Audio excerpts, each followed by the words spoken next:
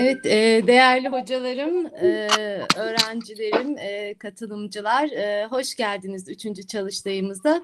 Heidegger'in özdeşlik ve ayrım metni hususunda bir çalıştay olacak. Değerli hocalarımızın katılımlarıyla, sunuşlarıyla şunu da belirtmek isterim, bir yandan da kabulleri gerçekleştiriyorum kitap bölümü projesi başlatmıştık. E, gayet güzel e, bu noktada talep oldu. E, başladık çalışmamıza ve bunu e, yine diğer e, çalıştayların devamında e, hemen sonrasında yine bir projeyle e, karşınıza gelecek şekilde e, gerçekleştirmeyi planlıyoruz. E, bunu da belirtmek isterim. E, sözü uzatmak istemem. E, hocalarımız da bu noktada bekliyor çünkü. E, Nami Hocam e, size bırakalım. E, Kadir Hocam'ın da yine evveliyatında söylemek istediği şeyler varsa buyurun hocam. Yok teşekkür ederim. Herkese e, iyi e, çalışmalar dilerim. Nami Hocam söz sizde. Evet, e, bugün Heidegger'in e, İdentitet und Differenz metniyle e, aşırı neşir olacağız. E, ben moderatörüm. Sinan Kılıç ve Metin Bal e, konuşacaklar. Sonra da kendilerine sorular yönelteceğiz. Sinan Kılıç e, ilk önce Akdeniz sonra e, Akdeniz'de yüksek lisans sonra da Uludağ Üniversitesi'nde doktorasını yapmıştır. Akdeniz Üniversitesi'nde Jean Paul Sartre'da öteki kavramıydı. Uludağ'da ben de jürideydim ama çok uzun bir e, başlık olduğu için unutuyorum okuyayım e, Deleuze Gattari yersiz yursuzlaştırma makinesi olarak şizoanalitik fark ve arzu ontolojisi başlığıyla bir çalışma yapmıştı. Duruyor bende bir nüshası var. Bu arada e, sonradan da post doktorasında Avustralya'da The School of Humanities and Language Philosophy diye e, yapmış. Ayrıca Martin Heidegger'de Metafizik Fark, Çoklukta Birlik ve Deleuze Gattari ile ilgili Şizoloji Yaratıcı Bir Fark ve Arzu Ontolojisi adlı kitaplarını yayınlamış. E, Metin Bal ise e, İzmir'de hoca. Kendisi daha önce İstanbul Üniversitesi'nde e, felsefe bölümünü bitirip yüksek lisansında Orta Doğu'da Dichotomous Philosophy in the Critique of the Power of Judgment adıyla e, vermiş. Ankara Üniversitesi Felsefe bölümünde de Martin Heidegger'in sanat anlayışında varlık, sanat yapıtı ve insan arasındaki ilişki başlığıyla tamamlamış.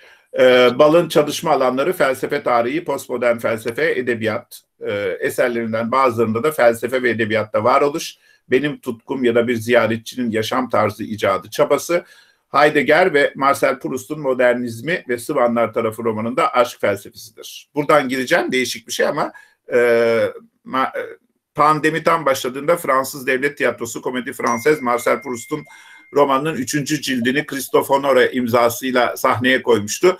Maalesef pandemiden ötürü e, az kişi gördü ama şimdi bütün bu oyuncular her gün Proust'un bir e, 20 sayfasını okuyorlar. Biraz önce bana 63'ü geldi. Üçüncü cildin sonundayız. E, YouTube'da bulunuyor. Herkes okuyabilir. E, buradan e, bir giriş yapayım e, konuşmacılardan önce. Ee, şöyle bir şey aslında Heidegger daha 1900 e, yani 27'deki varlık ve zamanın 25. paragrafında Dasein'ın e, kendilik problemi olarak kendi kendini varlık olarak sorguladığı üzerine durmuştu ve benimki e, kavramını kullanmıştı orada ve ondan sonra bu e, ben aynılık ve ayrılık diyorum daha şiirsel olsun diye aynılık ve ayrılığı da e, eserlerinde sürekli olarak işlemiştir. Ne yazık ki Heidegger 1945-54 arasında e, hocalık yapamamıştır. Malum nedenlerden otur, ötürü yasaklanmıştır kendisinin ders vermesi. 54 yılında Fransız ve e, İngiliz aydınların ricasıyla Alman e, hükümeti ona tekrar ders verme imkanı tamamlamıştır. 54 yılında ilk yazmış olduğu Metin Was heißt denken ders e, ne düşünce diye çağrılır. Sonra 57 yılında da bu önemli e, fark ve e, aynılık ve ayrılık veyahut da kimlik çünkü identite kimlik anlamına da geliyor veya özdeşlik problemini işleyen ve buradaki kendi konumunu işte Hegel'e veya e, Platon'a göre belirleyen bir e, önemli metin e, ortaya koymuştur. Heidegger'in e, Heidegger'den önce Platon biliyoruz sofistinde beş türlü önemli felsefe konusu vardır der. Toon yani varlık, e, stazis ve kilezis yani durma ve kıpırdama. Bir de ta auton yani aynı olan ile heteron yani ayrı olan. ve e, hatta Heidegger tabii ki bunu e, Platon'dan da önce Parmenides'ten bile e, tekrar alıyor birçok metninde. Çünkü Parmenides'in bizim Türkçe'ye e, düşünmek ve olmak aynı şeydir diye çevirdiğimiz metnin en başında aynı kelimesi duruyor. Aynıdır. Hatta Heidegger onu aynıdır, düşünce olur, olmak olur gibi diye çevirebiliyor. Bu konuları e, ve e, incelerken Heidegger Kant'tan da e, metafiziğin ontoteolojik yapısı adlı e, çalışmasını Kant'a da bağlıyor. Kant'tan da alıntı yapıyor. Çünkü Kant ilk defa ontoteoloji kavramını kullanmıştır. Böylece bir yandan eski Yunan Parmenides ve Platon'dan öte yandan da Kant'tan bu yana gelen bu kendilik diye de hatta İngilizler de hep self falan der ya kendilik problemini e, aynılık ve ayrılık içerisinde e, işliyor. Şimdi ilk önce e, Sinan'a soralım. Başlayalım istersen Sinan sen başla. Ondan sonra da Metin Bal'ı dinleriz. Evet peki şimdi öncelikle herkese merhabalar. Ee, tabii topluluğun oluşmasına katkıda bulunan e, Kadir Hocama ve Çiğdem Hocama öncelikle teşekkür ediyorum ve sonrasında tabii ki dinleyicilerimize de burada oldukları için e, e, ayrıca teşekkürlerimi sunuyorum. Şimdi e, Nami Hocam çok güzel ifade etti. Biz e, sürecin başlangıcında e, Metin Hocam'la e, istişare halinde planlamayı bu şekilde yaptık. Öncelikle özdeşlik ve ayrım probleminde özdeşliğin ne olduğunu açığa çıkarıp sonrasında da e, Metin Hocam'ın e, insan varlık ve düşünmesinin bu konu üzerine devamı olarak e, açığa çıkarılması üzerine plan yapmıştık. E, konuşmanın sıralaması çerçevesinde. Şimdi tabii bu şey konuşmanın metni e, özdeşlik ve e, ayrım olarak e, çerçevesi bu eser üzerinde. Bu eserin içerisinde benim konuşmamın e, sınırları veya çerçevesi özdeşlik problemi. Metnin hemen girişinde yer alan özdeşlik problemi üzerine konuşacağım. Bütün öz, yani birinci bölümdeki problemin bütünü üzerine değil. Ee, orada tabii e, özdeşlik problemine ilişkili olarak insan ve teknik problemi üzerine de Heidegger e, bir takım çözümlemelerde bulunuyor ama ben ağırlıklı olarak hatta ağırlıklı olarak değil bütünüyle sadece özdeşlik problemin yani özdeşlik kavramının veya özdeşlik ilkesinin ne olduğu üzerine konuşacağım. Tabii bu bir tartışma e, problemi olarak öncelikle şunu ifade edeyim. Uzun zamandır e, diferans problemi üzerine çalışıyorum ki Nami Hocam ifade etti. Doktora çalışmasında da diferans problemi, sonraki çalışmalarında da ağırlıklı olarak diferans, e, fark problemi çerçevesinde devam etti.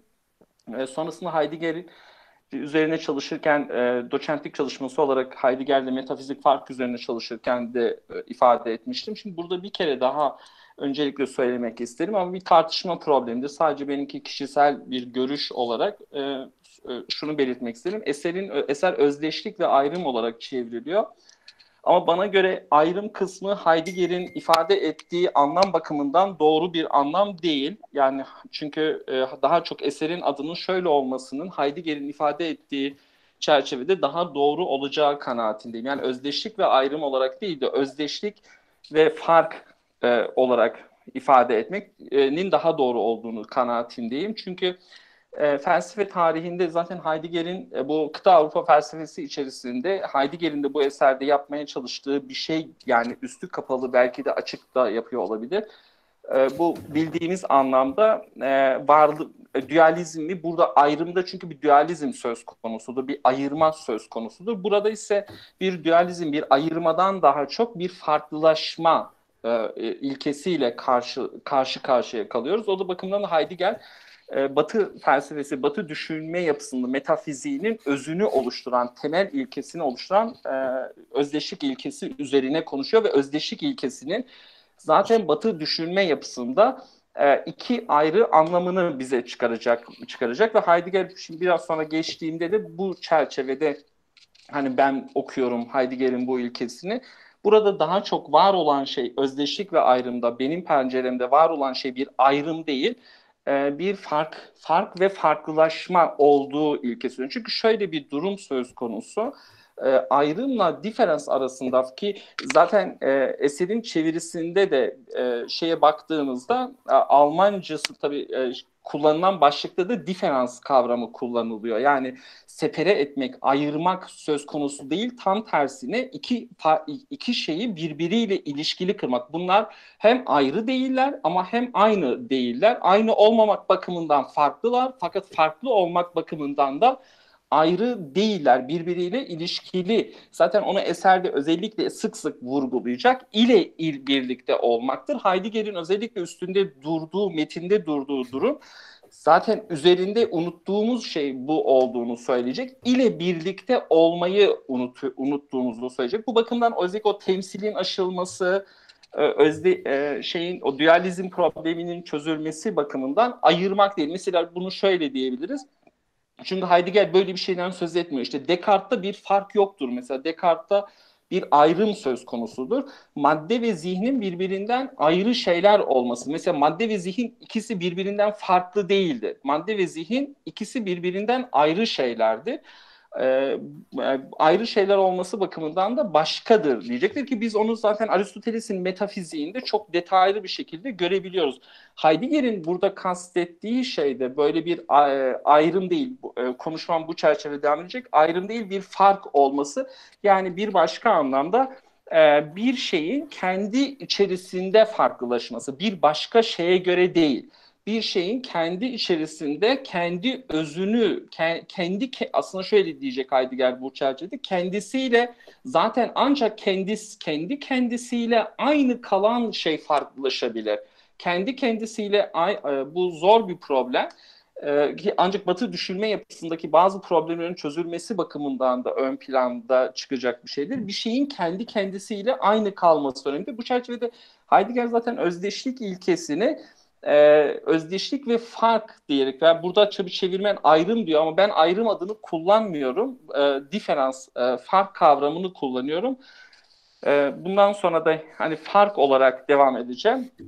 E, şöyle bir şey yapacaktır çünkü Heidegger bu özdeşlik kavramını metin boyunca e, bir aynılıkla özdeş, özdeşliğin aynılığın sesi olduğunu, aynılığı seslediğini ifade edecek. Sonrasında bir de özdeşliğin Batı felsefesinde Heidegger'in kabul etmediği bir şekilde işte benzerlik olarak e, veya eşitlik hani e, eşitlik ve benzerlik çerçevesinde vurgulayacaktır. Heidegger hemen metnin girişinde şöyle diyecektir. Yani e, özdeşlik ilkesine baktığımızda özdeşlik ilkesinin bize iki şey ifade ettiğini söyler metafizik tarihi içerisinde. Bunlardan bir tanesi birinci anlamı ile özdeş, yani iki anlamı vardır özdeşliğin Batı felsefe tarihinde. Bir tanesi A A'dır şeklinde ifade ettiğimiz e, an, bir anlamı ki bunu söylediği şekilde Parmenides'te de çıkacak olan anlamı da A'dır diye e, vurgular bunu. Bir diğer anlamı da e, özdeşliğin Batı felsefe tarihi içerisinde metafizik ta- düşünmesi içerisinde A eşittir A formunda çıkar karşımıza. Yani özdeşliğe yönelik iki kavrayış vardır. Biri AA'dır şeklinde ki Heidegger'in e, üzerinde konuştuğu özdeşlik ilkesinin bu olduğunu söyleyecektir. Yani A eşittir A değil, A A'dır şeklinde. İşte bu yüzden e, şeyi söyledim. Yani burada üzerinde konuşulan şey bir ayrım değil, bir fark. Çünkü A eşittir A'da bir ayrımdan söz e, söz konusu olacak. Orada bir ayrım söz konusu olacak ama A A'dır da ise bir şeyin e, farklılaşması yani bir şeyin kendi içerisinde kendisi zaten şöyle bir şey bir şey ancak kendi e, farklılaşma bir şeyin kendi kendisiyle aynı kalarak farklılaşması gerçekleşebilir ki orada Heidegger aynılık, benzerlik ve eşitlik kavramlarını sorgulayacaktır. Yani üzerine konuşacağım şey e, bir A A'dır ilkesi bir de A eşittir A şeklinde. İlk anlamıyla Heidegger özdeşliğin A A'dır olduğunu söyler bu ilke bakımında yani A'dır olarak ilke e, bir şeyin kendi kendisi ile aynı olmaması ama buradaki aynı olmaması aynı anda aslında bu Metin Hocam'la konuşurken sözü geçiyordu. Sofist diyaloğunda da geçer. Yani hem varlığa dahil olurken yokluğa dahil olmak, yokluğa dahil olurken var. Buradaki de aynı bir durum e, hem aynılığa dahil olurken farklılığa, farklılığa dahil olurken de aynılığa. Aslında şeye benziyor bu Nietzsche'deki ebedi döngüdeki gibi e, bir durum karşımıza çıkıyor. e, her e, yani tekrar var ama her tekrarda da kendisiyle birlikte farklılaşan bir durum karşımıza çıkacaktır. Bu anlamıyla A, A'dır ilkesiyle özdeşlik Heidegger açısından eşitlik veya benzerlik değildir, aynılık anlamındadır. Ki sonrasında bu e, iki çevirisi var. E, Türkçe'de iki çevirisi de tek çeviri ama iki farklı basım söz konusu e, Türkçe'de. Bunda e, aynı olanda kendini açığa çıka vuran şeydir ancak fark e, der Heidegger. Bakın Heidegger'de aynı olmak zaten e, farklı olmaktır. Fa, e, farkı aynı farkın sesidir. E, farklı olan ise var olanın varlığıdır. Zaten Heidegger'in çözmek yani metafizik tarihi içerisinde göz önüne aldığı şey de bu. E, bununla birlikte var olanla varlığı birbirinden ayırmak değil, var olanla varlığı birlikte kırmak. Yani bir ayrım değil. Aslında bu var olanla varlık hem aynı aynı anda da farklı bir şekilde karşımıza çıkıyor. Bunu o bildiğimiz klasik anlamda çok kullanır Heidegger. Yani var olanın varlığı içerisinde çıkan bütün bir felsefe tarihi içerisinde çıkan şeyi bize söyleyecektir. Ve e, eserin içerisinde hep şu şekilde özdeşliğin seslenişi bir farktır. Tabii çevirmen hep bunu ayrım olarak kullanıyor ama ben tekrar bunu ifade ediyorum. Ben ayrım kavramını çünkü Heidegger'in ifade bizim Türkçe'de de ayırmak, separate etmek yani birbirinden bağımsızlaştırmaktır. Ayırmak, koparmak. Hani biz şöyle kullanırız günlük e, şeyde ayrımcılık yapmayalım dediğimizdeki durum da bu. Birbirinden koparmak, bağımsızlaştırmak iki şey. Ama burada ise birbiriyle ilişkili kılmak şeklinde e, özdeşliğin seslenişini bu şekilde e, ifade eder. Aynı ile aynı e, şöyle diyecektir Heidegger. Aynı işi kararlı bir şekilde aynı tarzda ne kadar sık yapılırsa farklılaşma da aynı oranda o kadar kendisini açığa çıkaracaktır. Nami Hocam girişte ifade etti. Zaten bu aslında Platon'un devlet diyaloğunda geçen bir temadır. Uzma şey Platon'da aynı filozofun aynı işi ısrarla durmadan yapması gerektiğini ifade eder. Ancak e, filozof öyle olunabilecektir. Yani aynı işi ısrarla yapmak ama aynı şeyi yaparken de farklılaşmak olarak karşımıza çıkar. Aynı olan e, aynı zamanda tekrar olan farkın ilkesidir. Fakat fark ancak e, şöyle der bu çerçevede bu ilke temelinde kendisini açığa çıkarabilir. Şimdi normalde Batı felsefe tarihinde tabii e, bu e, şöyle bir durum. E, burada Heidegger bir bakıma özdeş Batı felsefenin özellikle kıta Avrupa felsefesinin ikinci yarısında bu postmodern düşüncede de sıkça eleştirilen özdeşlik ilkesini e, farkın ilkesine döndürerek belki de bu identity yani kimlikle ilgili olan sorunları da kurtarmış oluyor.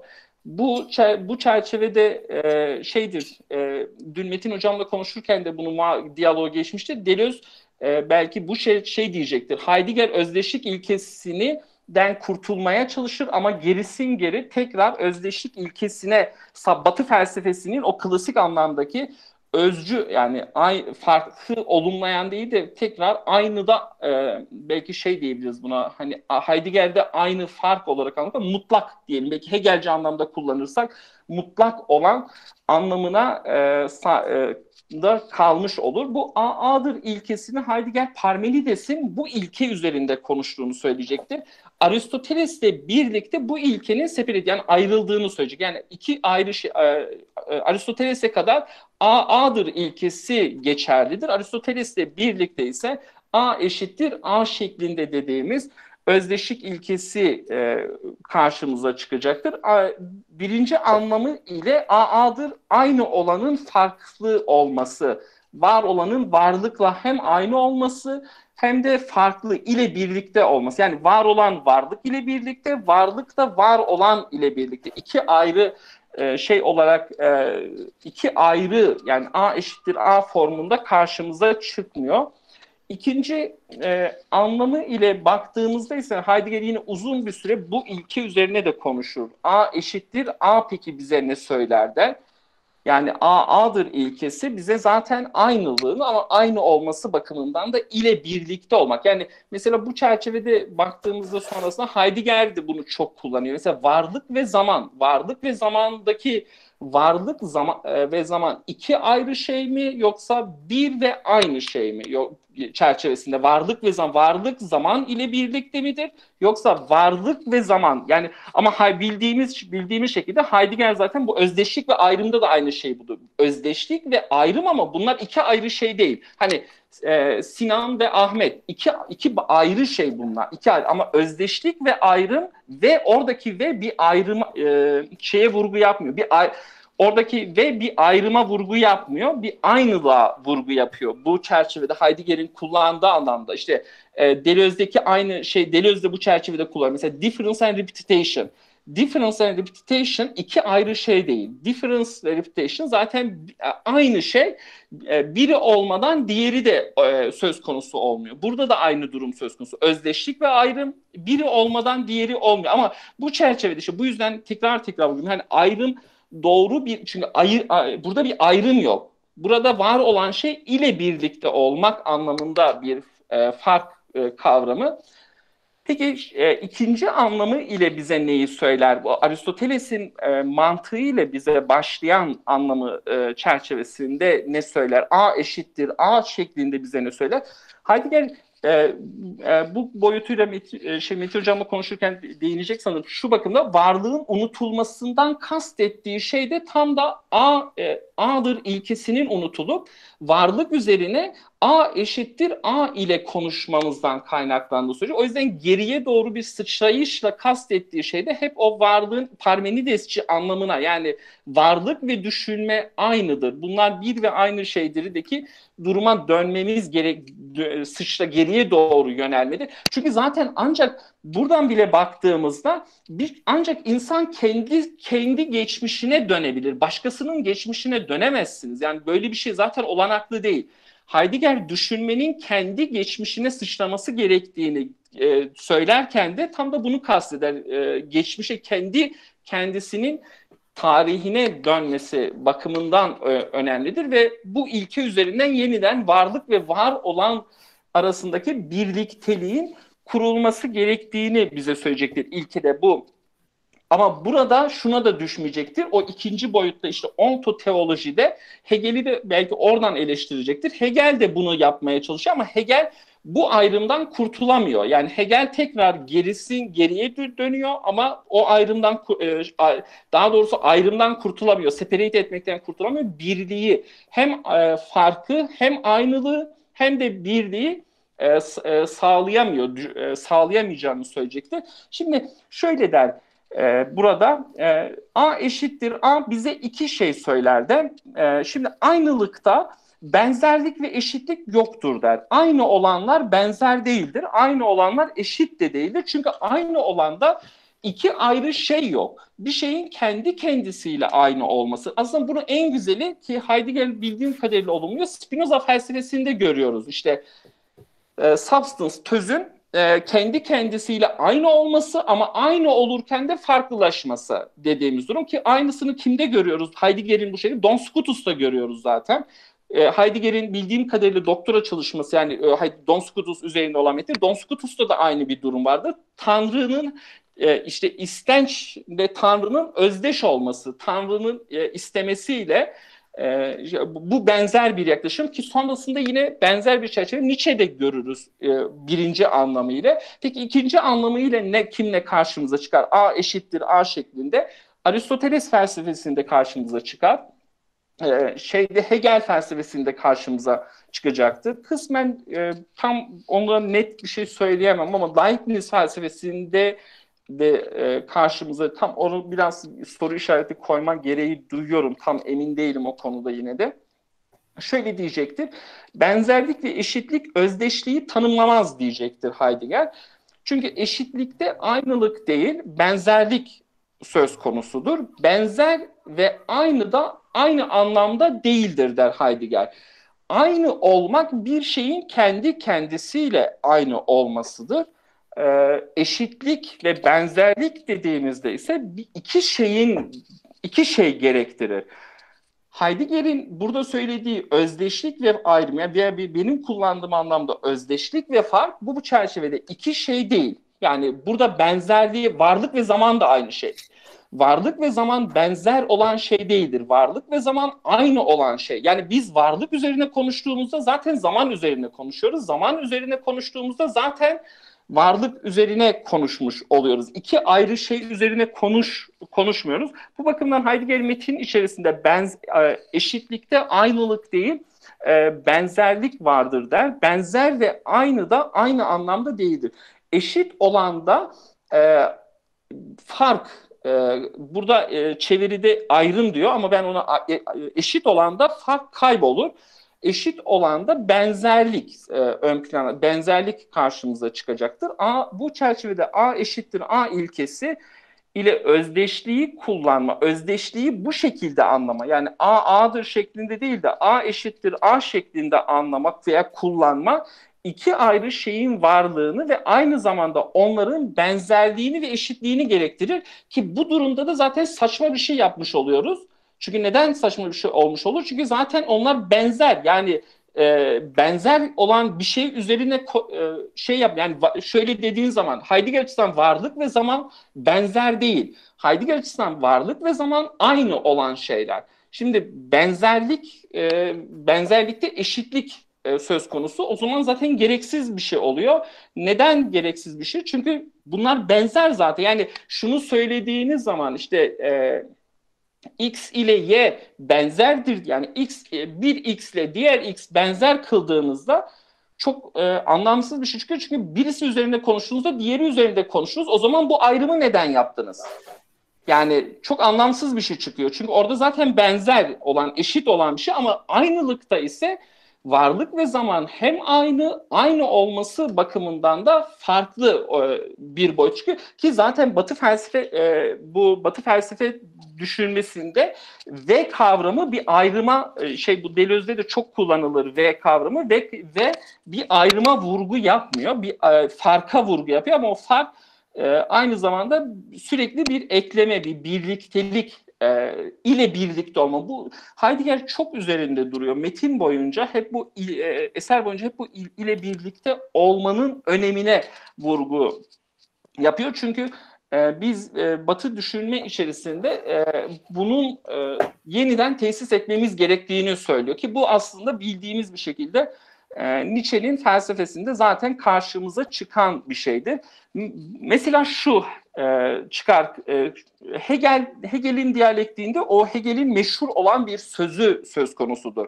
Şimdi e, gerçek olan rasyoneldir, rasyonel olan gerçektir. Bu Hegel'in mottosudur. Yani bir nevi Hegel üzerine her kim ki sözü alırsa e, bu bunu kullanmadan Hegel üzerine konuşmak e, konuşmaz. Yani gerçek olan yani işte Frankfurt Okulu düşünürleri de bunun üstünden hareket etmişlerdi. Gerçek olan rasyoneldir, rasyonel olan gerçektir. Şimdi burada Hegel e, gerçek ve rasyoneli özdeş kılmıyor. Aslında Hegel burada, Heidegger şunu söylüyor. Hegel burada e, gerçek ve rasyonel olanı iki ayrı şeyin özdeşliği bağlamında değerlendiriyor. Yani A, A'dır ilkesi bakımından değil de A eşittir A ilkesi bakımından konuştuğunu söylüyor. Bu da tabii bir separat yani ayrım e, yaptığını e, söyleyecekti. Burada gerçek olanla rasyonel olan benzer olmuş oluyor. Benzer olması bakımından bunlar aynı şey değil. Mesela varlık ve zaman aynı şey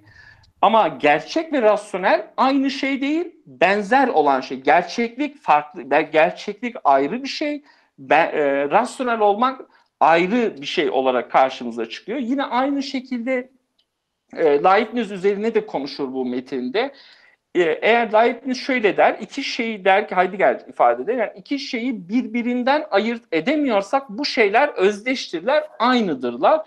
Ki demin söylediğim anlamda yani A eşittir A ilkesi bu çerçevede e, kullanması çok anlamsız bir şey geliyor karşısında çünkü zaten benzer kılıyorsunuz. iki ayrı e, iki ayrı şeyi benzer kılıyorsunuz. Benzer kıldığınızda zaten birisi üzerine konuştuğunuzda diğeri üzerine de konuşmuş e, oluyorsunuz. Heidegger bunu şöyle diyecek bu bakımdan özdeşlik ilkesi benzerliği vurgu yapmaz. Fark da aynı şekilde fark da karşıtlığa vurgu yapmayacaktır. Farkın, diferansın temel seslenişi özdeşlik ilk, özdeşliktir. Ee, iki şeyden bu bakımdan özdeşlik iki şeyin birbirinden ayrımını değil, iki şeyin birbirine benzer olmasını değil, iki şeyin birbirine eşit olmasını da değil, özdeşlik ilkesi ile aynı olmaktır. Bir şeyin bir şeyin bir şey yani e, bu da şu olur ancak bir şey ancak bir diğer şey ile aynı olamaz. Diğer şey ile benzer olur. Bir şey kendi kendisi ile aynı olur. Birlik işte o bütün bir felsefe tarihi içerisinde e, Heidegger'in vurguladığı anlamda üzeri unuttuğumuz şey buydu. İle birlikte olmak. Varlık var olanlar ile birliktedir. Ki eser içerisinde işte felsefe tarihi içerisinde varlığın tarihi dediğimizde işte varlığın e, su olması, ateş olması, e, var olanların kendisini hep bu şekilde ile açığa çıkarması veya istenç olması, güç istenci olması e, veya işte teknik mesela içinde yaşadığımız dönemde var olanların varlığının seslenişinin teknik olarak karşımıza çıkması şeklinde diyebiliriz. E, şu diyecek, şuraya diyecek Heidegger, farkta özdeşlik farktır. Yani bir şey aynılıkta farklılık e, e, söz konusudur. Bu e, şeydir Nietzsche'nin e, böyle buyurduğu Zerdüştür'ün de bir temasıdır. İşte e, e, eternal return dediğimiz e, ebedi döngü dediğimiz şey e, tam da bu şey aynı ama aynı da farklı olana tekrar etmesi bakımından önemlidir. E, ile aynı olmayla kendi olma arasında bir ayrım yapar. Heidegger şöyle şunu söylüyor burada. Bu önemli bir ayrım e, aslında ilkin okuduğumuzda bize aynı şeymiş gibi geliyor. Yani böyle dikkatli okumadığımızda ile aynı olmakla aynı kendi şunu söylemiyor Heidegger. Bir şeyin aynı kendisi kendiyle aynı olması değil de ile birlikte olmak, ile aynı olmak üzerine konuşuyor. Çünkü ile aynı ancak ile aynı olmakta farklılık açığa çıkar. Oysa aynı kendiyle aynı olma farkı açığa çıkarmaz. ile birlikte olmak. Mesela şöyle o yüzden Heidegger hep ve ile konuşuyor. Yani Heidegger de mesela Deleuze de böyledir. Ve ile konuşur. Ee, Heidegger de ve ile konuşuyor. Şeyle konuşmuyor. Yani daha doğrusu Copula ile konuşmuyor. Daha e, Copula'nın yerine ve'yi daha ön plana çıkartacaktır.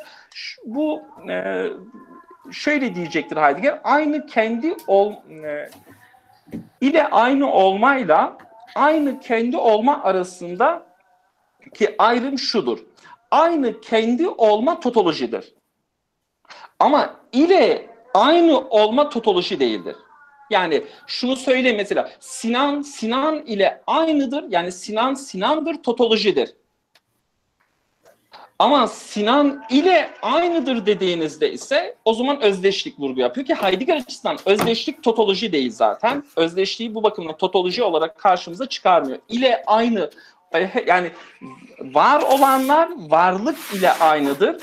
Bu bakımdan böyle var olanlar varlık ile aynıdır. Varlık da var olanlar ile aynıdır.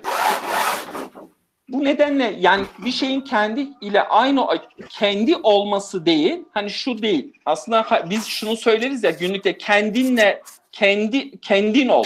Ha, kendin ile aynı ol dediğimiz durum karşımıza çıkacak. Ee, şöyle topar, son böyle toparlayacak olursam e, bir başka anlamda böyle konuştuğumuzda peki fark neyi sesler dediğimizde fark özdeşliktir. E, diferans özdeşliktir ve bu bakımdan da düşünmenin ilkesidir. Heidegger'in zaten e, ontoteoloji olarak bölümde de e, Hegel'in e, kaçırdığı noktanın bu olduğuna söyleyecektir. Düşünmenin ilkesini e, özdeşlik yani A A'dır olmasını Hegel'in gözden kaçırdığını, Hegel'in A eşittir A ile konuştuğuna vurgu yapacaktır. Bu bildiğimiz düşünmenin veya varlığın ilk ilkesi olması bakımından önemlidir. Ki zaten düşünmek dediğim şey zaten bildiğimiz bir şeydir bu. Özdeşlik ilkesiz düşünemeyiz. Ee, bu ilke bakımından düşünmeye e, çalışırız. Bu ilkeyle e, bir araya getiririz. Yani mesela baktığımız zaman da aslında şey diyecektir. Ancak var olanlar e, kendilerini birde bir araya toplayarak güvencede hissederler. Bunu işte günlük politikada da görebiliriz. Mesela Avrupa Birliği böyle bir şeydir. Birlikte İslam Birliği dediğimizde de aynı şeydir. Mesela kendi o İslam Birliği veya Avrupa Birliği o zaman kendinizi güvende hissediyorsunuz. Bir var olanlar kendilerini separate ettiğinde ay- ayırdıklarında güvende hissetmezler. Var olanlar kendilerini bir araya topladıklarında birde yani özdeşlikte topladıklarında var ile birlikte olduklarında yani Avrupalılar Avrupa ile birlikte olduklarında kendilerini güvende hissederler. İslam ülkeleri İslam Birliği teşkilatı altında toplandıklarında kendilerini güvende hisseder. Bu bakımdan bir bir yani o özdeşliğin sesi olan bir e, var olanların güvencesidir. Var olanların kendilerini güvende hissetmesini olanaklı kılan şeydir. Ama varlık bu bakımdan da var olanlardan e, ayrı bir şey olarak da karşımıza e, çıkmayacaktır. Hani şey bu gün şu açıdan bu iki örneği verdim. Bu yaşantımız yani günlük düşünmemizin içerisinde e, işleyen bir, e, bir şey bir ilke olarak karşımıza çıkıyor. Bu bakımdan düşünmenin ilkesi e, ör- ilkesi olarak karşımıza çıkar. Düşünmenin de varlığın ilk ilkesi olması bakımından e, e, özdeşliğin özdeşlik hep varlıktadır, düşünmededir ama aynı zamanda da orada değildir. Bu meşhur o Hegel'in manav örneğinden bildiğimiz bir örnektir. Bu özdeşlik ve farkın orada olması buna benzer bir şey. Fark hep aynının içerisindedir ama e, siz onu baktığınızda göremeyeceksiniz. O meşhur Hegel'in e, kullandığı örnekte işte e, birisi gider manavdan e, meyve satın almak ister ve manav şunu söyleyecektir her bir defasında meyve yok burada. Ama hayır der yani sana şunu işte elma verebilirim, şunu verebilirim ama hayır diyecektir. Ben meyve istiyorum. Aslında meyve oradadır ama yoktur. Yani fakat baktığınızda manava gittiğinizde meyve tam da aynılıkla yani o bir tüm var olanların meyvede bir araya toplanması gibi oradadır ama aynı zamanda da orada değildir. Bu sonrasında çok farklı örneklerle zenginleştirilmiş bir şekilde karşımıza e, çıkar. Sanırım e, Nami Hocam tam bendeki saate göre 30 dakika oldu. Diğer hocamın da zamanla e, şey yapmak istemem ama Yani sen toparlarım demiştin de onun için ben... toparlayacağım. e, Hemen bir dakika içerisinde toparlayacağım. Metin hocamın Tamam. da zamanından almak istemem. Tamam. Ben de Ee, özür say- dilerim. Yaramaz kedilerim beni rahatsız edip geldiler gene ve gitmiyor şimdi. evet. Ee, Hemen şu sonuç olarak şunu e, şöyle bir şey. Heidegger bu e, çerçevede e, özdeşliği yani benim e, bu Heidegger topluluğu çerçevesinde söyleyeceğim şey benim açımdan buradaki e, e, kavramın ayrım olmaması gerektiği, fark olması gerektiği. Çünkü metin boyunca Heidegger'in üzerine konuştuğu şey bir separate etmek, ayırmak değil, bir kılmak. O e, ve ama bir kılarken de aynı zamanda e, ayrımı e, şey e, farkı gerçekleştirmek, farklılaştırmak. Yani hem kendi kendisiyle aynı olmak ve farklılaşmak. Bu bakımdan Heidegger sonraki süreçlerde zaten e, farkın uzlaşı olduğunu söyleyecektir. İki şeyin bir varlıkla var olanlar arasında bir uzlaşma çerçevesinde işleyeceğini e, söyleyecektir. Ben e, tekrar dinleyicilere din, e, sabırları için ve dinledikleri için teşekkür edip konuşmayı burada bitiriyorum. Biz de sana teşekkür ederiz. Ee, zannediyorum ki soruları en sona en sona bırakıyoruz değil mi? Sonraya. Ee, ikisi bittikten sonra. Ben sadece bir tek e, bir ismi bekliyordum gelmedi onu söyleyeyim. Schelling'in e, Heidegger burada Schelling'e daha çok Evet yakın hocam, Hegel'den Schelling'de. ziyade. Schelling Tamam. de geçiyor hocam doğru. tamam. Evet Metin de şey pardon. Evet Metin Bey dinleyeceğiz şimdi. Evet, teşekkür ederim Nami Hocam. Ee, Tüm katılımcılara e, teşekkür ediyorum dinliyor oldukları için. Sinan Hocam teşekkürler. Ben e, Nami Hocam beni ayrıca Heidegger'in diline uygun bir şekilde sanatla e, ilgim bakımından tanıttığı için ayrıca teşekkür ederim. Ee, Heidegger'in düşünce tarihine yaptığı katkılardan benim ilgimi çekeni düşünmeyle ilgili olanı bir düşünür e, ilgilendiği şey hakkında ortaya koyduğu yapıtlarıyla var olur ve biz biz de ona dikkat edebiliriz. Yani onun yaptığı şeylerle ilgilenmek onun yapmadığı şeylerle dikkat almaktan daha yararlı olacaktır. E, Böylece çok e, gerekli tartışmayı önlemiş e, olacağımı düşünüyorum. Heidegger'e göre gerçek gelenek düşünme geleneğidir.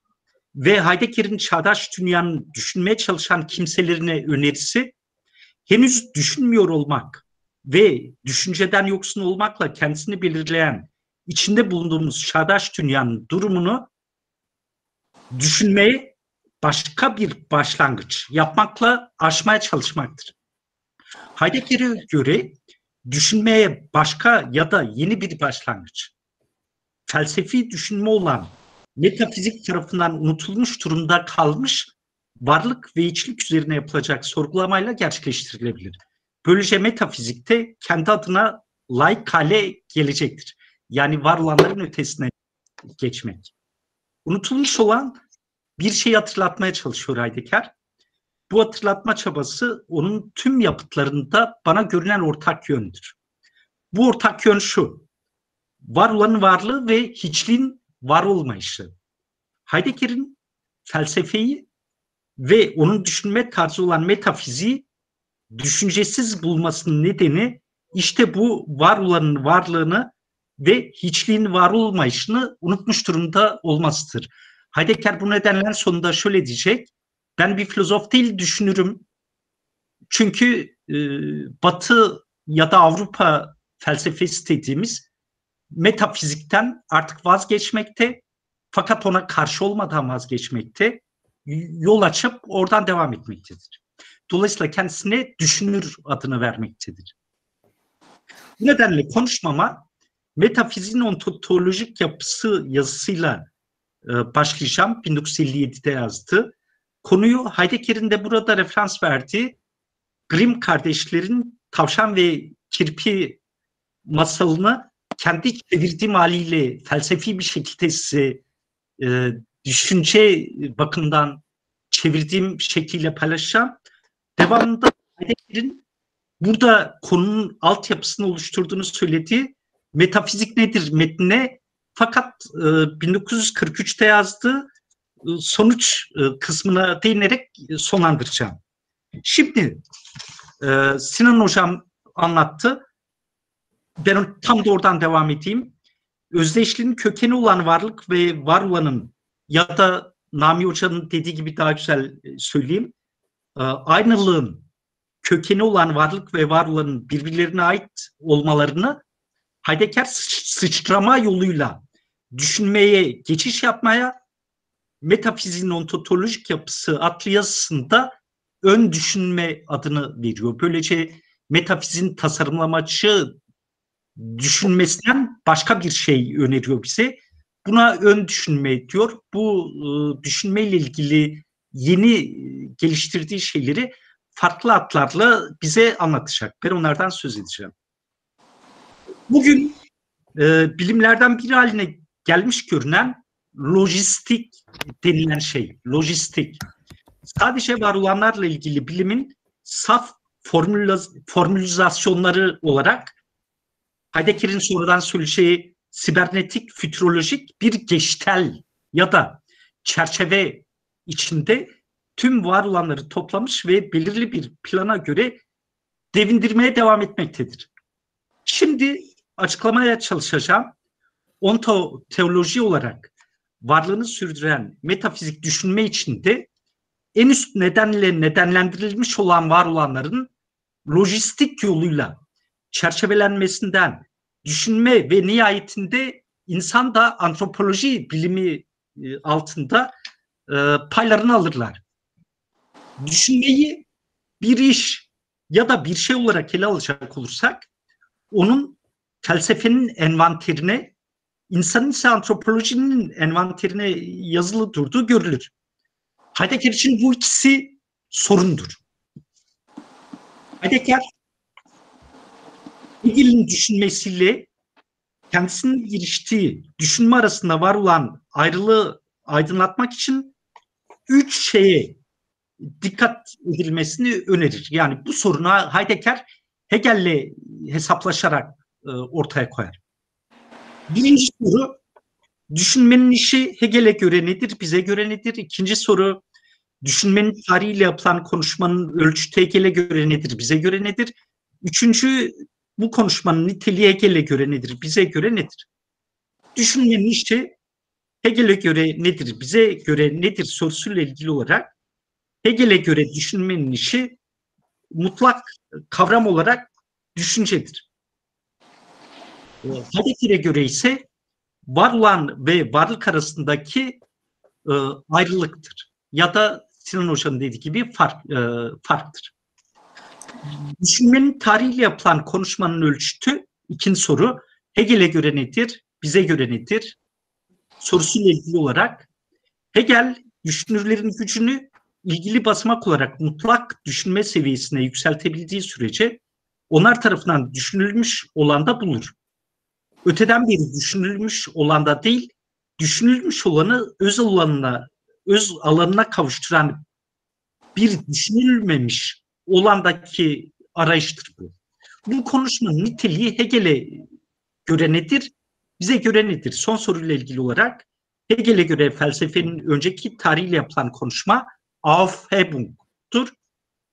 Bu niteliği taşır. Özellikle nitelik diyor. Çünkü burada e, varlık varlığın bir niteliği ya da iki ya da ilavesi olarak e, tasarımlamacı düşünme olan felsefenin metafizik düşünme tarzında bu şekilde tanımlandığı için böyle diyor. Yani mutlak temellendirme anlamındaki arayıcı kavrayışın niteliği. Bir göre ise düşünmenin e, buradaki niteliği e, düşünce tarihiyle yapılan konuşmada geriye atılan adım yani var olan ve varlık arasındaki farka ya da ayrılığa e, geri dönmek. Buna sıçrama, e, atlama diyebiliriz. Geri adım yoluyla düşünülecek olan şey felsefe tarihinde unutulmuş durumda olan varlık ile var olan arasındaki ayrılık. Geri adım. Düşünme denilen şeyi felsefenin tasarımlamacı tarzıyla düşünmekten bizi belli bir tarza çekip çıkaracak olan düşünmedir. Hegel mantık biliminin birinci kitabı olan varlık öğretisinin başlangıç bölümünün sonlarına doğru biliminin başlangıcı ile ilgili şöyle bir cümle kurar. Heidegger'in dikkatini bu çekiyor burada. Şöyle diyor Hegel ve işe kendisiyle başlanması hakkı da kayıtsız şartsız Tanrı'nın olurdu. Bu cümleye dikkat edelim. Ee, Heidegger diyor ki o zaman bilim bilim denilen şey başlangıçları yapmak durumundaysa o zaman bu Tanrı bilimidir. Yani teolojidir. Hegel'in felsefesinde de görüldüğü gibi felsefe eğer bir teoloji olarak görünüyorsa o halde Tanrı felsefeye nasıl girebiliyor sorusu cevaplandırılmalıdır. Bundan önce ise felsefenin kendisinin ne olduğu aydınlatılmalıdır. Çünkü artık felsefi düşünme tarzı olan metafizik ya da tasarımlamacı düşünmeden vazgeçilmesi gerekecek Heidegger'e göre. Bu iki soruyu Heidegger metafiziğin e, Nami Hoca'nın hatırlattığı gibi ilk Kant'ın kullandığı e, ontolojik öz yapısı o zaman nereden kaynaklanır sorusunda Heidegger bu soruyla bu iki soruyu birleştiriyor. Hegel'in düşüncesinde felsefe varlık tanrı bilime ya da ontolojiye dönüşmüş. Ancak Hegel buna rağmen kendi felsefesini e, teoloji ya da ontoloji değil de mantık bilimi olarak adlandırıyor. Peki o zaman Tanrı metafizini açık unuttuğu kapıdan felsefeye nasıl giriyor? Buna bakalım. Şöyle diyor Heidegger. Metafizik var olanı var olan olarak yani genelde düşünür. Metafizik var olanı var olan olarak yani bütünde düşünür. Bu bütün önemli çünkü var olanların hepsi. Tüm modern felsefenin uğraştığı şey. Metafizik var olanın varlığını hem en genel olan temeli indirici birliğinde yani her yerde genel geçer olan da hem de tümlüğün temellendirici birliğinde yani işte buraya dikkat edelim. Yani her şeyin üstündeki en yücede düşünür. İşte bu da Tanrı. O zaman metafizik işte bu şekilde e, varlık Tanrı mantığı olarak da adlandırılabilir. Heidegger'in gösterdiği gibi metafizin temel niteliğinin adı varlık Tanrı mantığı. Metafizin Tanrısı. E, bu e, inanç sözcülerin inandığı Tanrı gibi kendisine kurbanlar sunulan, önünde diz çökülen bir Tanrı değil tabii. Böyle bir şey değil. Bu nedenle Heidegger ateizme vurgu yapmaz, o konuda yazmaz. Ee, fakat hala Tanrı buna rağmen bir var olan olmayı sürdürüyor. Ee, var olmuyor ama var olmuyor, buna rağmen var. Neden? Çünkü causa prima, yani ilk neden ya da causa sui, kendisinin nedeni. Tanrı'nın metafizikteki kavramı işte bu ikisi. Böylece metafizik tahtına oturmuş olan Tanrı'ya yakından bakacak olursak o en yüce ve en sonunda var olan olarak var olan ile bir halde olan genel ve ilk elde var olan olarak var olan. Yani varlıkla ilgisi yoktur. Hiçlikle de ilgisi yok. İşte adına hala Tanrı denilen bu genelde ve en yücedeki var olan olarak var olanın birliğinde metafizin özünün yapısı barınır. İşte bu ontoloji olarak felsefe ya da tasarımlamacı düşünme tarzıyla metafizik denilen şey. Heidegger başka türlü düşünür. Çünkü ona göre var olanlarla ve varlıkla kendi ayrımlarında karşılaşırız. Kendi ayrılıklarında ya da farklarında. Adeta Grimm kardeşlerin tavşan ile kirpi adlı masalındakine benzer bir durum vardır burada diyor Heidegger. Şimdi bu masal nedir? Buna bakalım.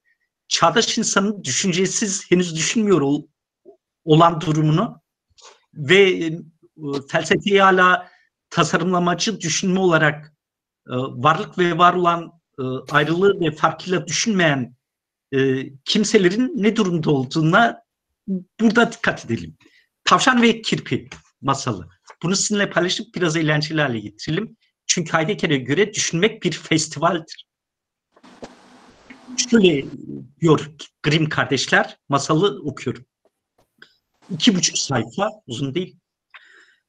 Bu hikaye sevgili gençler kulağa yalan gelmektedir. Fakat doğrudur aslında. Çünkü onu kendisinden edindiğim büyük babam huzur içinde anlatırken her zaman şöyle demeye alışıktı. Bu doğru olmalıdır oğlum. Yoksa hiç kimse bunu sana anlatmayacaktı. Bu hikaye şöyle vuku buldu. Hasat zamanı bir pazar sabahı kara buğdaylar çiçek açmışken güneş gökyüzünde berrak parlarken doğu rüzgarı ekin anızı üzerinde sıcakça eserken tarla kuşları şarkı söylüyorlarken arılar kara buğdayları arasında vızıldarken insanların hepsi pazar günü kıyafetleri içinde kiliseye gidiyorlardı ve tüm yaratıklar mutluydu ve kirpi de mutluydu. Kirpi kendi kapısının yanında elleri belinde ayakta duruyor ve yavaşça titrek sesle kendi kendisine küçük bir şarkı söylüyordu. Bu şarkı kirpinin kutsal bir pazar sabahı şarkı söyleme alışkanlığındaki şarkılarından ne daha iyi ne de daha kötüydü. Bu şekilde daha yüksek sesle şarkı söylerken onun aklına şu geldi ki karısı çocukları yıkayıp kuruturken o tarlanın içinde bir yürüyüş yapabilir ve şalgamların nasıl büyüyor olduklarını görebilirdi pekala. Şalgamlar gerçekte onun evine yakındı. O ve ailesi onları yemeye alışkın oldukları için onlara sanki onlar kendisine aitmiş gibi bakıyordu. Derhal işe koyuldu. Kirpi kendi arkasından evin kapısını kapattı ve tarlaya doğru yol aldı. O evden çok uzaklaşmamış ve şalgam tarlasına çıkmak için tarlanın dışında duran çakal eriği çalıların etrafında tam dönmek üzereydi ki buna benzer bir iş yapmak için kendi kabaklarını ziyaret etmek için dışarı çıkmış olan tavşanı gördü. Kirpi tavşanı görür görmez ona arkadaşça bir günaydın dedi. Fakat ait bir tarzda seçkin bir beyefendi ve korkutucu derecede kibirli olan tavşan kirpinin selamını almadı. Aynı anda çok aşağılayıcı bir tarz takınarak tavşan kirpiye şöyle dedi. Sabahın bu erken saatinde tarlada seni böyle koşturan da nedir? Bir yürüyüş yapıyorum dedi kirpi. Gülerek bir yürüyüş dedi tavşan. Bana öyle görünüyor ki bacaklarını daha iyi bir amaç için kullanabilirsin. Bu cevap kirpiyi aşırı derecede üzdü. Çünkü o her şeye katlanabilirdi ancak bacakları hakkında bir saldırıya asla. Ne de olsa onun bacakları doğuştan çarpıktı. Şimdi kirpi tavşana şöyle dedi. Sen kendi bacaklarınla benim kendi bacaklarımla yapabileceklerimden daha fazlasını yapabileceğini mi sanıyorsun? Tam da bunu düşünmüştüm, dedi tavşan. Bu test edilebilir, dedi kirpi. Bahse girerim, eğer seninle bir koşu yarışı yapacak olsak seni geride bırakırım. Bu gülünç, sen kısa bacaklarınla, dedi tavşan. Fakat eğer sen bu kadar çok istiyorsan kendi açımdan ben de isterim. Nesine bahse girelim? Fakat eğer sen bu kadar çok istiyorsan ben de istiyorum. Kirpi bir lüzdor altını ve bir şişe konyak dedi. Kabul dedi tavşan. Buraya çıkalım ve o halde hemen başlayalım. Hayır dedi kirpi. Bu kadar acele olmaz. Hala açım. Önce eve gideceğim ve küçük bir kahvaltı yapacağım. Yarım saat içinde tekrar burada olacağım. Bunun üzerine kirpi ayrıldı. Çünkü tavşan buna epey memnun olmuştu. Yoldayken kirpi kendi kendine düşündü. Hmm, tavşan uzun bacaklarına güveniyor. Fakat ondan daha iyi olmanın bir yolunu bulacağım. O heybetli bir adam olabilir ancak çok aptal bir herif ve dediğin bedelini ödemeli. Böylece kirpi eve vardığında karısına şöyle dedi. Karıcığım çabuk giyin benimle birlikte tarlaya gelmelisin. Neler oluyor ha? dedi karısı. Tavşanla bir Louis d'Or altını ve bir şişe konyana bahse girdim. Onunla bir koşu yarışı yapacağım ve sen orada olmalısın.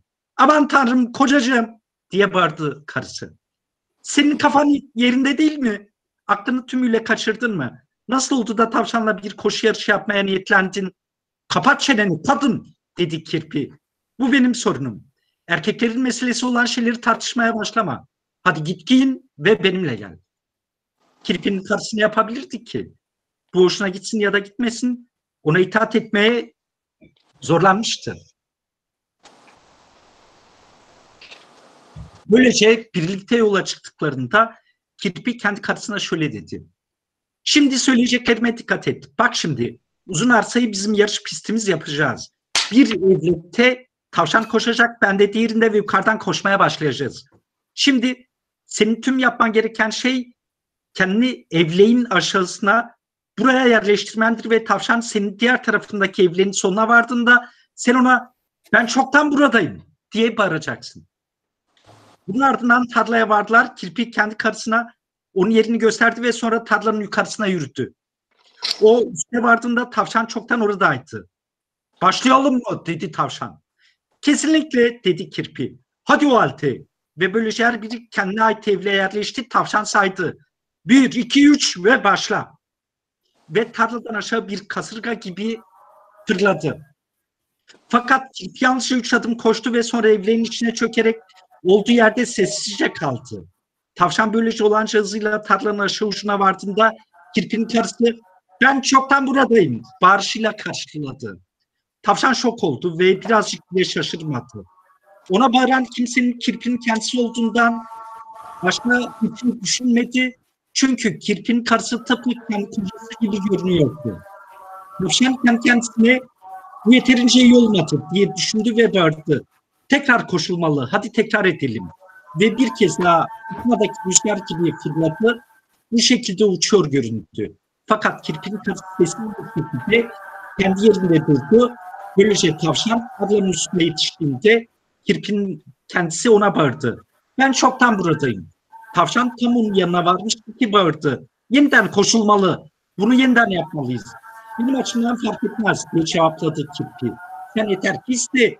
Böylece tavşan tam 73 defa daha koştu ve kirpi her zaman ona karşı devam etti ve tavşan yukarıya ya da aşağıya her varışında ya kirpiği ya da onun karısı ben çoktan buradayım dedi. 74. seferinde tavşan bitişe daha fazla yetişemedi. Tarlanın ortasına yere yığıldı. Boğazından kan geldi ve hemen orada ölü serildi.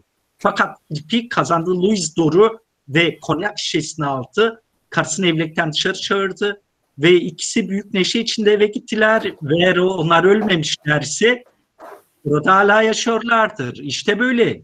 Her nasıl olduysa kirpi Buxtehude kırları üzerinde tavşan ölü serilene kadar onunla koşu yarışı yaptı ve o zamandan beri hiçbir tavşan bir Buxtehuder kirpisiyle koşu yarışı yapmak istememiştir.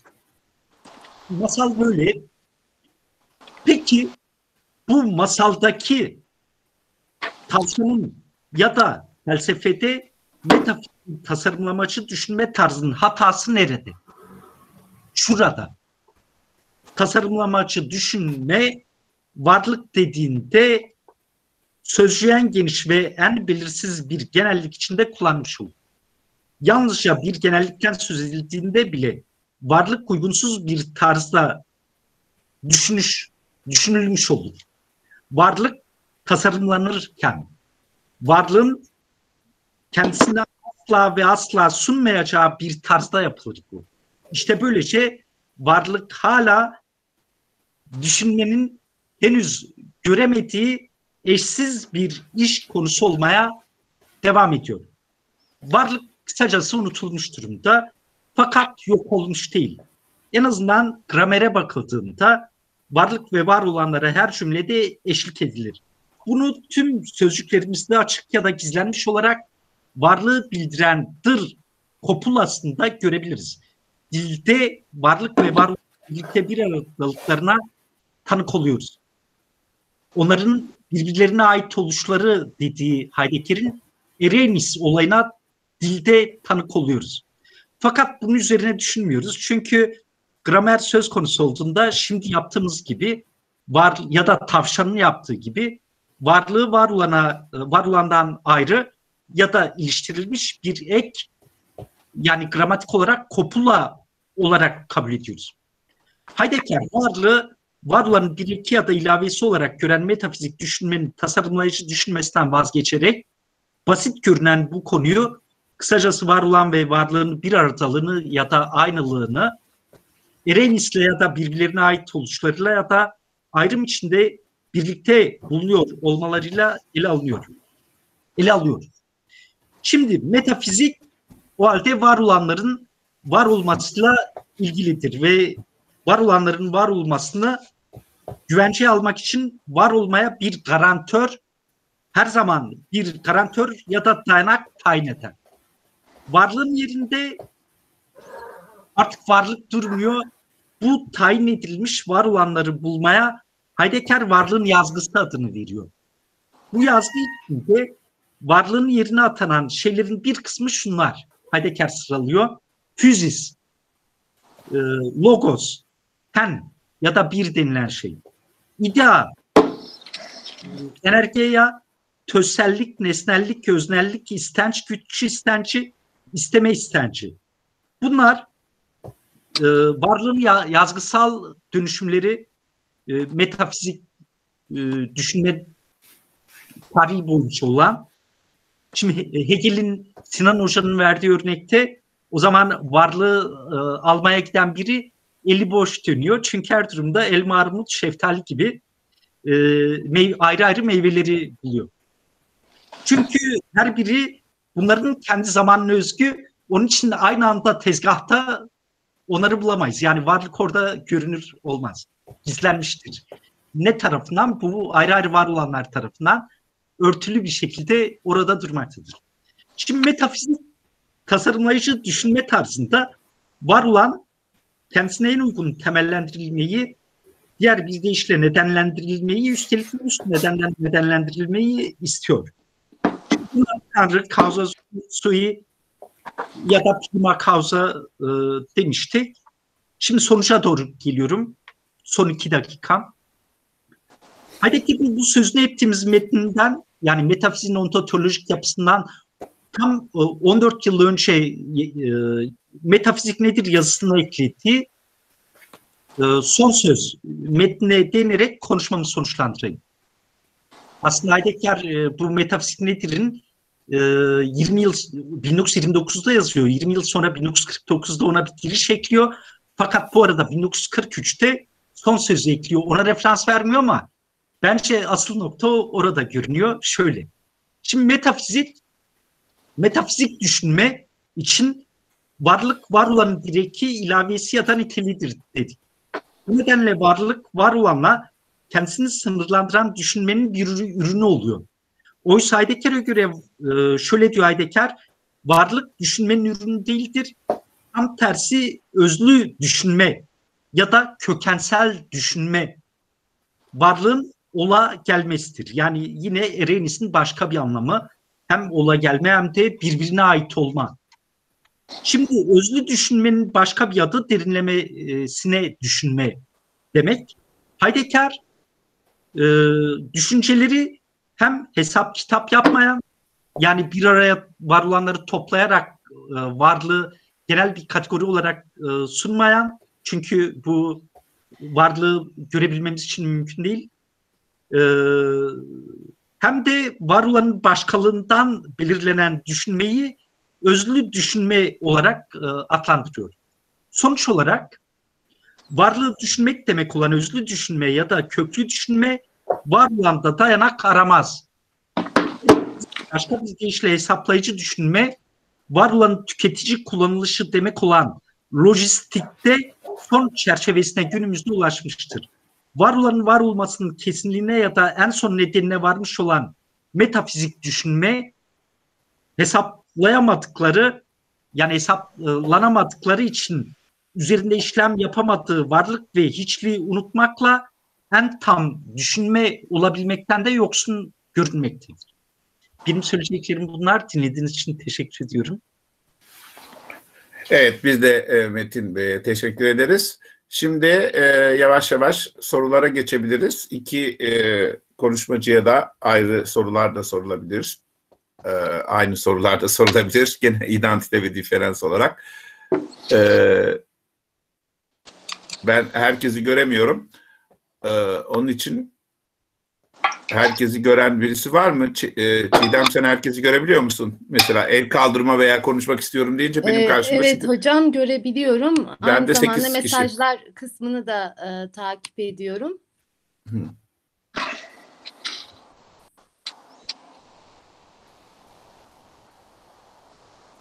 Evet şu anda var mı o zaman e, soru? Şu anda yok hocam bakıyorum. Ha, Solmaz Ee, Hanım galiba soracak. Evet Solmaz Hanım istiyor. Tamam. Ee, sormayacağım aslında bir protesto söyleyeceğim ilk evvela Kirpi'nin cinsiyetçiliğine ve Grimm kardeşlerin aslında masallarının tekrar gözden geçirilmesi gerektiğine. yani Heidegger'in orada durduğu şey kirpi yani iyi gel ayrıca Almanca'da ich bin da diyor. Ich bin da, ich bin schon da yani Dasein Aha. olarak da alıyor orada şey e, bir yerde de oraya gönderme yapıyor. Evet e, şey erkek erkek gibi ben sen kadın iç, içeride kal falan deyince galiba huylandı sonradan değil mi öyle diyelim. Evet. Diyecek- Heidegger orası da almıyor. Zaten kendisi özetliyor ve en çok ich bin da demesi Dasein üzerinde duruyor diyelim. kardeşlerden daha zeki çünkü o filozof. evet. Arkasındaki hikaye gözden geçirilmeye değer. evet. Şimdi e, Sinan Kılıç e, bu şeyden bahsederken e, teşekkürler bu arada arkadaşlara. E, e, aynı ve ayrıdan ya da farklıdan bahsederken tabii e, kendinin kendiyle aynı olması meselesi gibi bir şey geldi aklıma benim. Tabii bu da bana hemen Ricoeur'ün Hadi bakayım ne yapıyor. Ders mi? Evet, evet Solmaz Hanım. daha konuşuyor herhalde.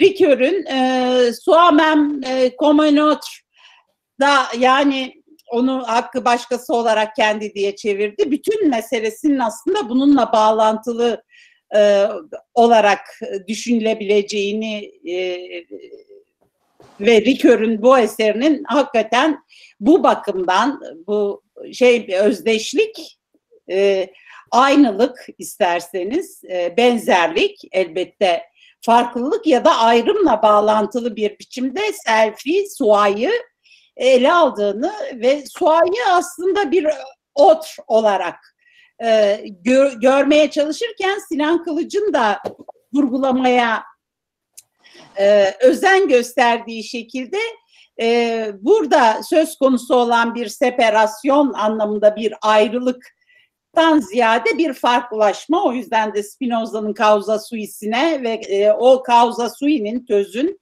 kendisini tam da atributumları sonsuz ve sınırsız sayıdaki atributumları ile aslında e, eksprese etmesi, ifade etmesinin çokluğuna e, e, vurgunun e, ve bu bakımdan belki de Spinoza'nın e, tözünün töz metafiziği diye Heidegger'in e, tırnak içine alarak ve çok, yer yerde çok haklı bir biçimde kritik ederek e, anlattığı tarihten ayrı tutulması gerektiğini söyleme ihtiyacı hissettim ki Ricoeur'de de hakikaten buna benzer bir vurgu vardır. E, çünkü Spinoza'nınki gerçekten de aksiyon halinde olan bir e, varlık anlayışıdır. Yani bu bir e, pasyo değildir, bir maruz kalma değil, bir etkinlik, bir faaliyet halinde çoklaşarak ve çoğalarak sonsuz sayıda hatta e, kendini dışa vurma, kendini açma, hani Alethea'nın kendini göstermesi gibi bir şey olarak düşünülebilir e, diye sadece e, Sinan Kılıç bu konuda ne diyecek ya da Metin ne diyecek? E, yani böyle ça- bir çanak soru olsun aslında. E, biraz daha konuşma fırsatı yaratır diye bunu dile getirmek istedim. Teşekkür ederim. Evet ben başlayayım isterseniz küçük bir cevapla. Yani Ricoeur de fenomenolog zaten. Ee, hem de Husserl'le daha yakın bir fenomenolog değil mi? Fenomenoloji okulu diye de yazdı. Ee, zaman e, anlayışı açısından daha çok Husserl'le yakın. Ve e, Heidegger'in e, fenomenolojisindeki e, en önemli fark Husserl'in zaman anlayışını eleştirerek başlaması Zaynul Zeit'ta işe. E, ve e, statik değil de diyelim hep hareket halinde sizin de söylediğiniz gibi bir e, fark aldığı için belki Türkçedeki fark atmak sözcüğün üzerinde de durabiliriz. Ya o fark atma olayı da oluyor. Yani belki e, şey gündeme getirmeyen bir şey vardı. Çatışma da var. İşte o Hegel'deki o çatışma, o aynılık ayrılığı çatışma olarak görüyor.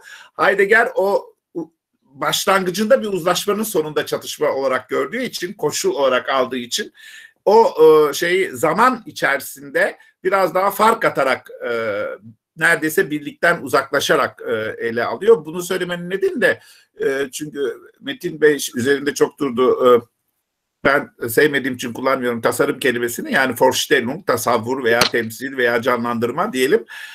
E, Ricoeur onu kabul ediyor. Ben refleksif ve e, şey tasavvur felsefesi yapıyorum ve günümüzde de çok eleştiriyor ama ancak bu şekilde e, fenomenoloji olur diyor da o da bir fark. Yani Heidegger e, e, şeyden Vorstellung e, hatta bir metni Vorstellung'dan çıkıyor diyelim. Bir metninde de Almanca üzerinde oynayarak gerçek bir Vorstellung'un sunma, prezentasyon, işte onun zamansallaşma, zamanı birdenbire kendi kendini fırlatarak atma olarak alması e, var.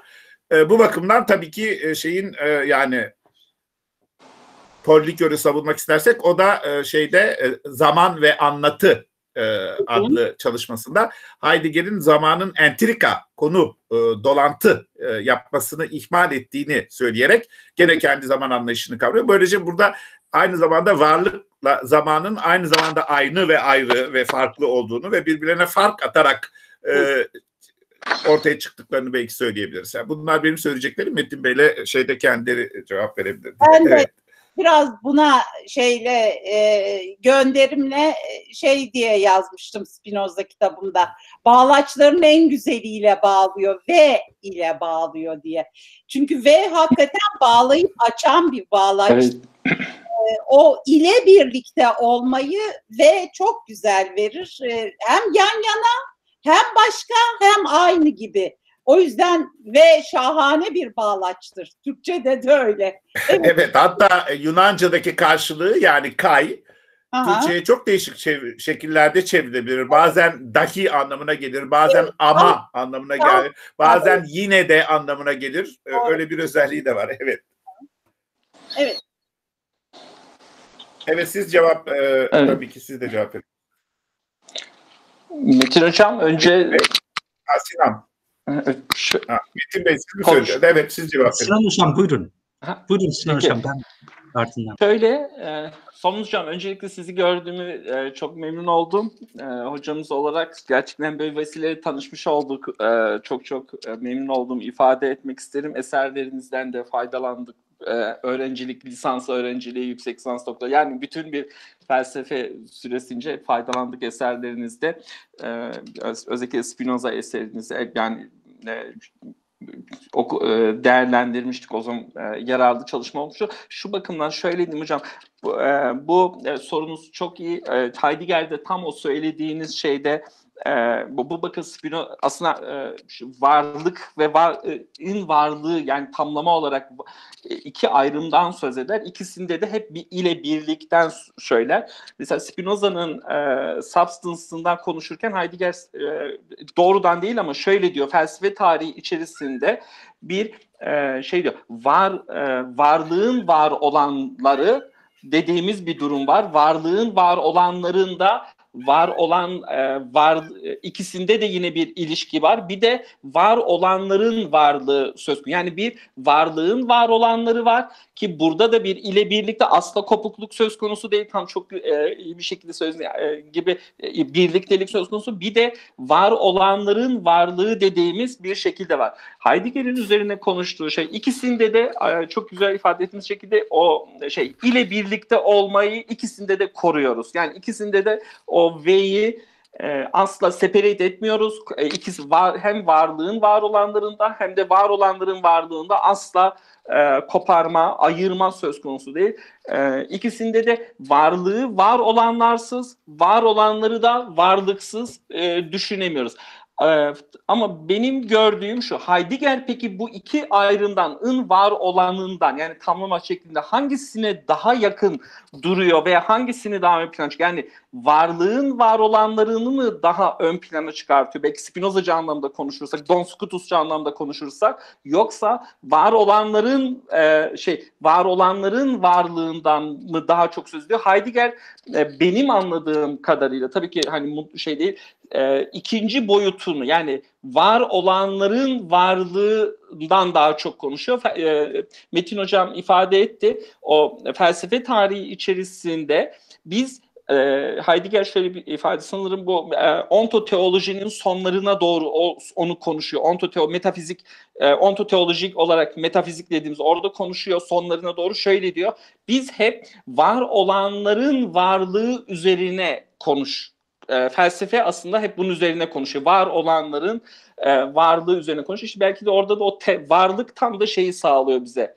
E, temeli sağlıyor metafizik. Yani e, böylece var olanlar üzerine de konuşmamız zorunda. Ben öyle anladım. Yani ikinci boyutunu var hani buradaki birinci ve ikinci hiyerarşik bir anlam değildi. Hani dilin sınırları içerisinde kalmamızdan dolayı söylüyor. Yoksa birinci, ikinci hiyerarşik bir yapı olarak değil. e, sadece e, sınıflama analiz etmek açısından kullanıyorum o boyutu. Var olanların varlığı üzerine ko- e, konuşuyor fe- e, felsefeyi diyebilirim. Evet hatta bunu gramer bakımından şöyle e, altını çizerek e, tekrarlayacağım. Almanca'da ismin den hali yok. İsmin den hali olmadığı için in hali den anlamına da geliyor. Latin dillerinde de aynı şey vardır. Oysa Yunanca'da var den hali. Var olanların varlığı olduğu kadar var olanlardan bir varlık. Var olanlardan varlık olunca tam oluyor işte Heidegger var olanların varlığını var olanlardan olma bir varlık olarak zaten aldığı için ayrılık ve ayrılık e, ayrılık ve fark tekrar oluyor. Evet. Pardon siz de Metin Bey bir şeyler Evet. söyleyecek miydiniz? Müthiş hocam çok güzel. Harika. Gramer Solmaz, zaten her şeydir hakikaten. Evet. Çok evet, Solmaz Hocam sorunuz için teşekkürler. estağfurullah. Metin. Şimdi e, evet, Ricoeur'ü hatırlattığınız için de teşekkürler. E, Şimdi tabii tüm fenomenologları sayabiliriz. İşte Husserl en başta Jean-Paul Sartre, Levinas. e, şimdi şuna dikkat, e, belki şunu ekleyebilirim Solmaz Hoca'nın söylediğine. Şimdi tabii ki Solmaz Hoca'nın e, söylediklerine karşı bir tutumda değil Heidegger. Çünkü Heidegger kendisini anti metafizikçi olarak tanımlamıyor. Yani karşı durmuyor Heidegger. Sadece yeni ya da farklı bir başlangıç için yol açmaya çalışıyor.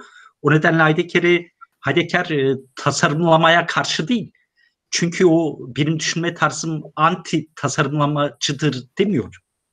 Sadece başka türlü bir düşünmeye geçiş yapmaya çalışıyor. Şimdi burada e, şu Heidegger'in o zaman e, düşünce tarihine katkısını gözünde tutmak belki yardımcı olabilir. Benim gördüğüm üç katkısı var. Diğer katkılarını siz belki görmeme yardımcı olabilirsiniz.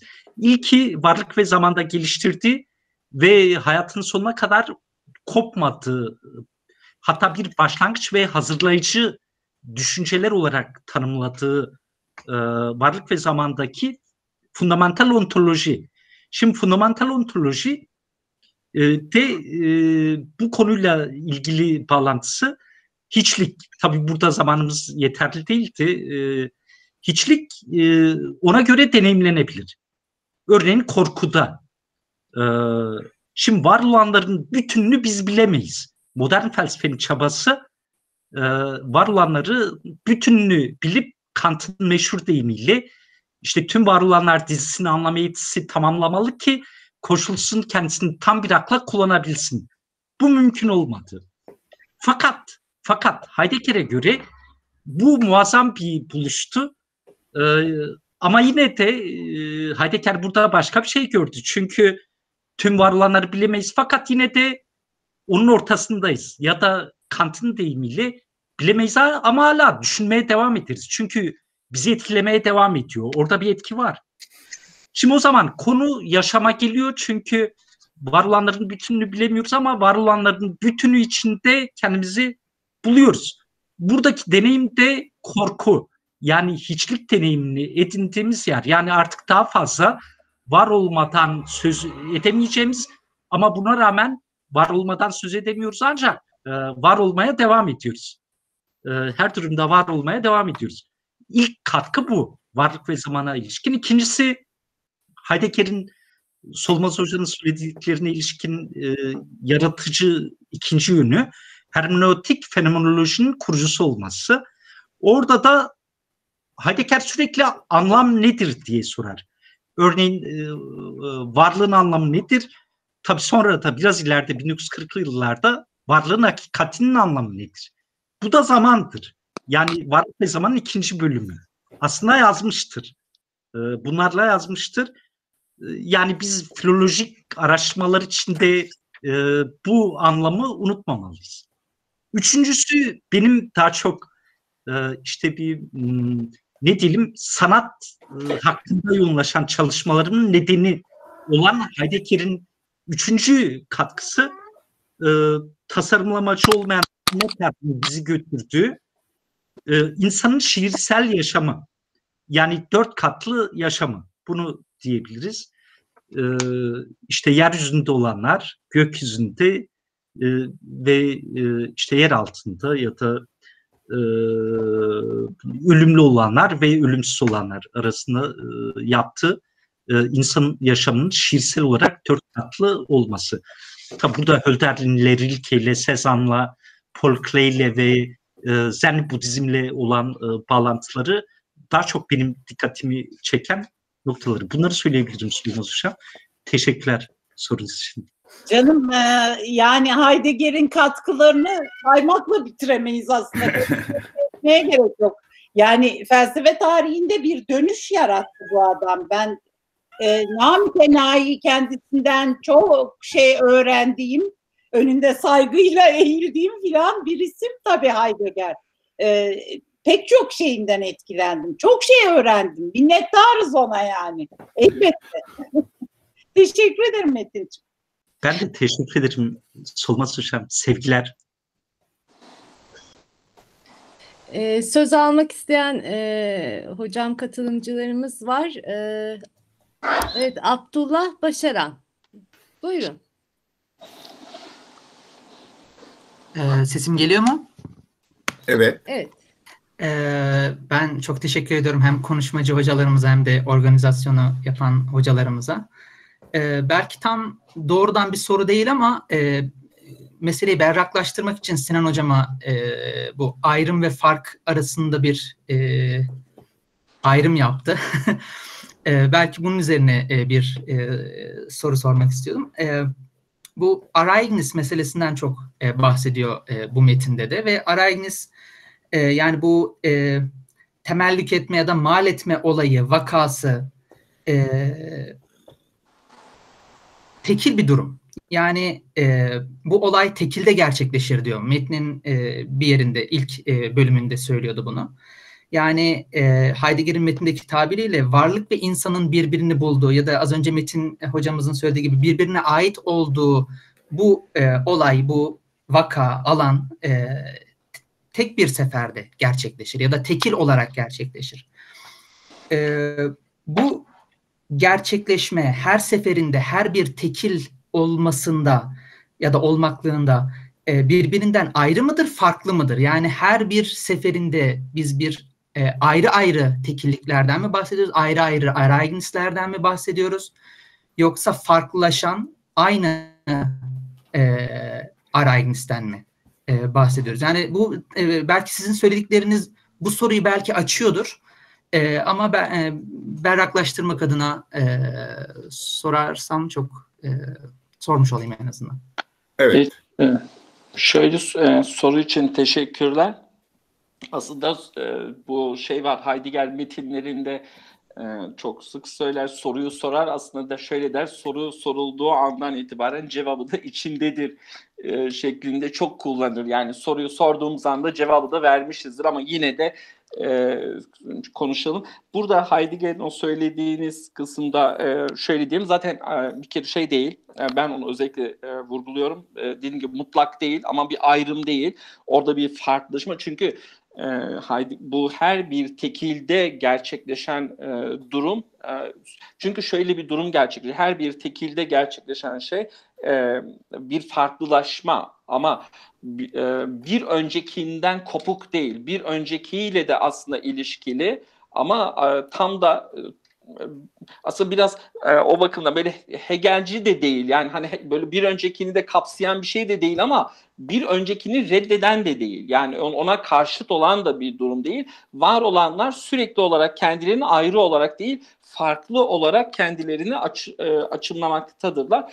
E, tekilde gerçekleşme dediğimizde tekil tabii e, Heidegger'de ben hani metni okurken de anladığım şey oradaki tekil e, bir olma anlamında ben anlıyorum. Yani bir olma e, şu çerçevede var olanların e, tekilde e, tek belki şey, şey hani e, Almanca özüne de özüne bakmak gerekiyor. Bir olmadır oradaki tek. Zaten tek e, tek birdir. Yani e, aksi takdirde aykırı olur. Çünkü biz felsefe olarak, metafizik olarak zaten tekil üzerine konuşuyoruz ama o tekil Aristoteles'in söylediği anda tek tekler değil. Bir olan şey üzerine konuşuyor. O bir olan hep farklı o, farklı olan bir şeydir. Ama şu bakımdan da tekildir. Yani e, e, işte Metin hocamın e, ifade ettiği şekilde o istenç e, tekildir. Bir keredir. Yani o, o bakımda sonrasında güç istenci tekildir. E, işte e, şey bakımı e, nasıl diyebiliriz felsefe tarihi içerisinde baktığımızda Geist tekildir. Yani e, aslında şöyle e, o, o bakımdan e, oradaki tekten öyle kastediyoruz ama o bir ayrım değil, o bir farklılaşma. E, bütün bir Batı felsefe tarihi de zaten e, bu e, şeyden alır. Heidegger'de sanırım büyük olasılıkla Nietzsche'den etkilenerek alıyor. Çünkü Nietzsche okumaları e, şeyde e, Heidegger'in Nietzsche okumaları özdeşlik ve ayrımdan çok çok önce gerçekleşiyor. Bildiğim kadarıyla 35-45 arasında da ağırlıklı olarak Nietzsche okuması gerçekleştiriyor. Bu e, eserde de onun etkilerini çok bariz bir şekilde ben e, yani kendi adıma dediğim gibi e, bir şekilde görüyorum. Tam da öyle bir şey söyleyelim. Yani e, ayrı değil. Çünkü ay, ayrı e, onu koparmak e, koparmaktır bağıntı ama burada hep bir döngü şeklinde karşımıza e, çıkıyor. Çünkü var olanlar kendi sesini hep e, yeniden güvenceye altına alıyorlar. Heidegger'in hemen son olarak toparlarsam şöyle diyeyim. Oradaki tekili öyle düşünmek gerekiyor. Yani tek dediğimizi tek tekler değil de oradaki tekil bir e, ben öyle anlıyorum. E, ve e, şöyle e, felsefe tarihi içerisinde de Heidegger tabii şey bakın zamansal olarak konuşur. Zaten e, var olanların farklılaştığını, var olanların farklılaşmasıyla birlikte varlığın da farklılaştığını söyleyecek söyler. Yani e, bir başka ikisi yani şöyle o yüzden şöyle hep ile düşünmemiz gerekiyor. E, hatta e, modern bilimi de o yüzden eleştirecektir. E, şey diyecek işte o modern bilim ile düşünmeyi unuttu, unuturdu. Şey bize hep var olanları varlıksız düşünmeye itti bizi. Bu zaten bir problem olarak karşımıza çıkıyor.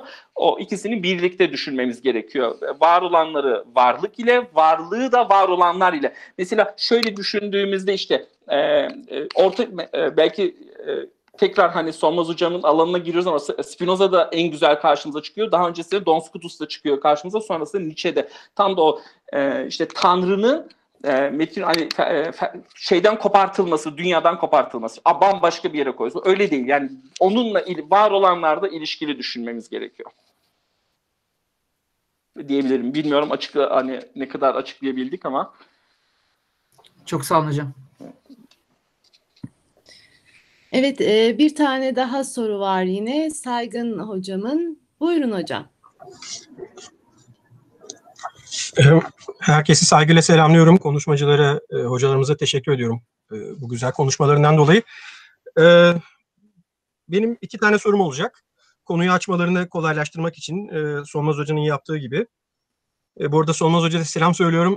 Uzun süre olmuştu görüşmeyeli. O da benim hocam. E, kendisine de selam söylemiş olayım buradan. Her neyse e, birinci sorum şu. E, Zat de Identität, özdeşlik e, ilkesi, öz, özdeşlik ilkesi olarak çevirebileceğimiz bu başlık yani ilk e, makalenin başlığı, konferansın başlığı aslında anlıyoruz ki, okuduğumuzda anlıyoruz ki özdeşlik ilkesi değil.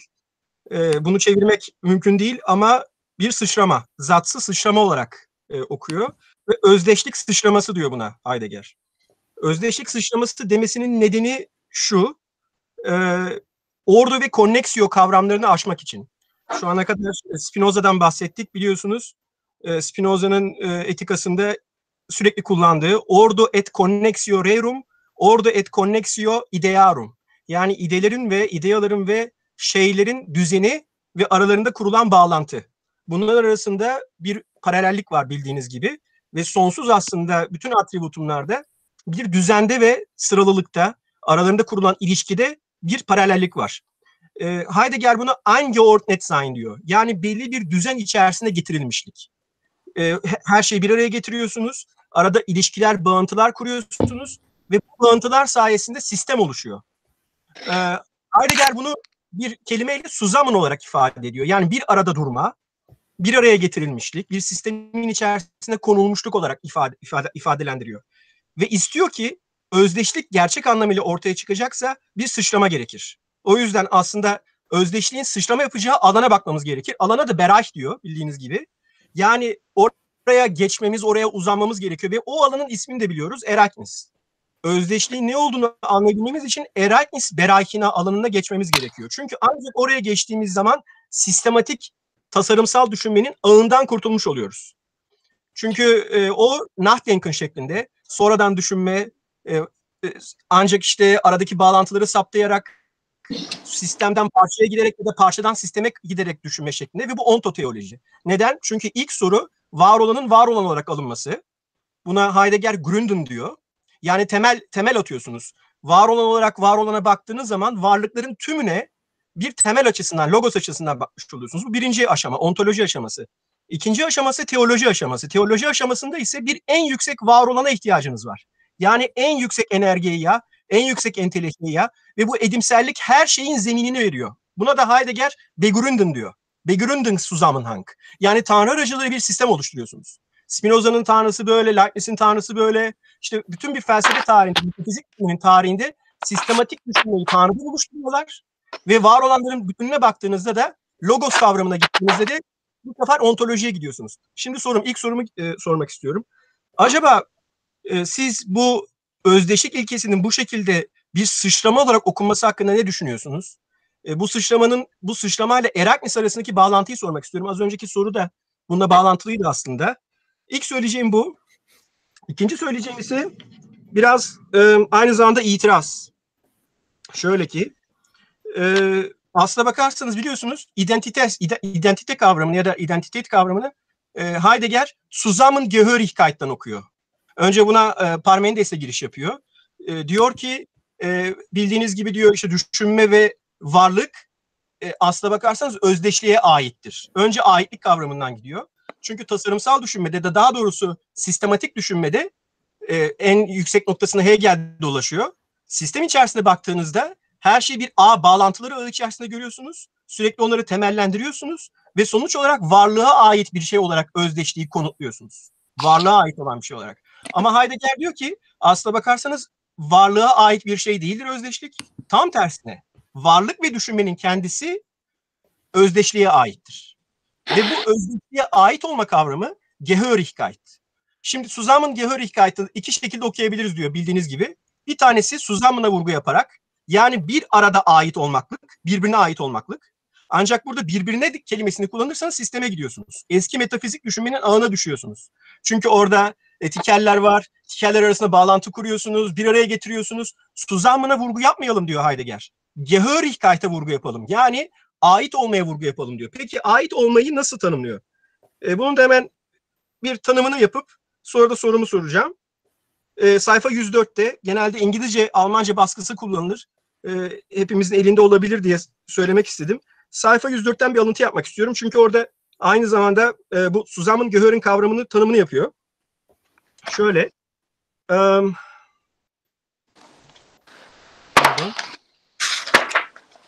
Okuyorum. Evet şöyle. İki şey söylüyor Gehörigkeit ait olmaklıkla ilgili. Bir tanesi Überkomnis yani varlığın var olanın üzerine doğru gelmesi, onu şaşırtıcı bir şekilde, apansız bir şekilde açığa çıkma yaratması. Ve orada e, Almancasıyla söyleyeyim. Sein geht über das hin. Oraya doğru geçer varlık. Kommt entbergend. Açığa çıkartarak gelir. Über das. Üzerine doğru. Was durch solche Überkommnis erst als vom sich her unverborgenes ankommt. Yani ilk ilk kez üzerine doğru varlık var olan üzerine doğru geldiğinde orada bir açığa çıkartma gerçekleşir ve oraya doğru uğrar. Yani artık var olan kendi mekanında ve zamanında oraya gelir, iner. Ankunft heißt yani gelmek, varmak, inmek şu anlama gelir. Sich bergen in Unverborgenheit. Kendini açığa çıkarmışlıkta saklamak, muhafaza etmek. Also geborgen anwehren. Yani saklanmış bir şekilde, muhafazalı bir şekilde varlığını orada devam ettirmek. Sein des Sein. Böylelikle var olanı olmak. Transitif olarak okuyor, übergang olarak okuyor. Böyle iki şey görüyoruz ait olmaklıkta. Bir tanesi varlıktan var olana doğru apansız bir geçiş. Brückenlos. Yani tamamen köprüsüz. Koneksiyo olunca köprü var.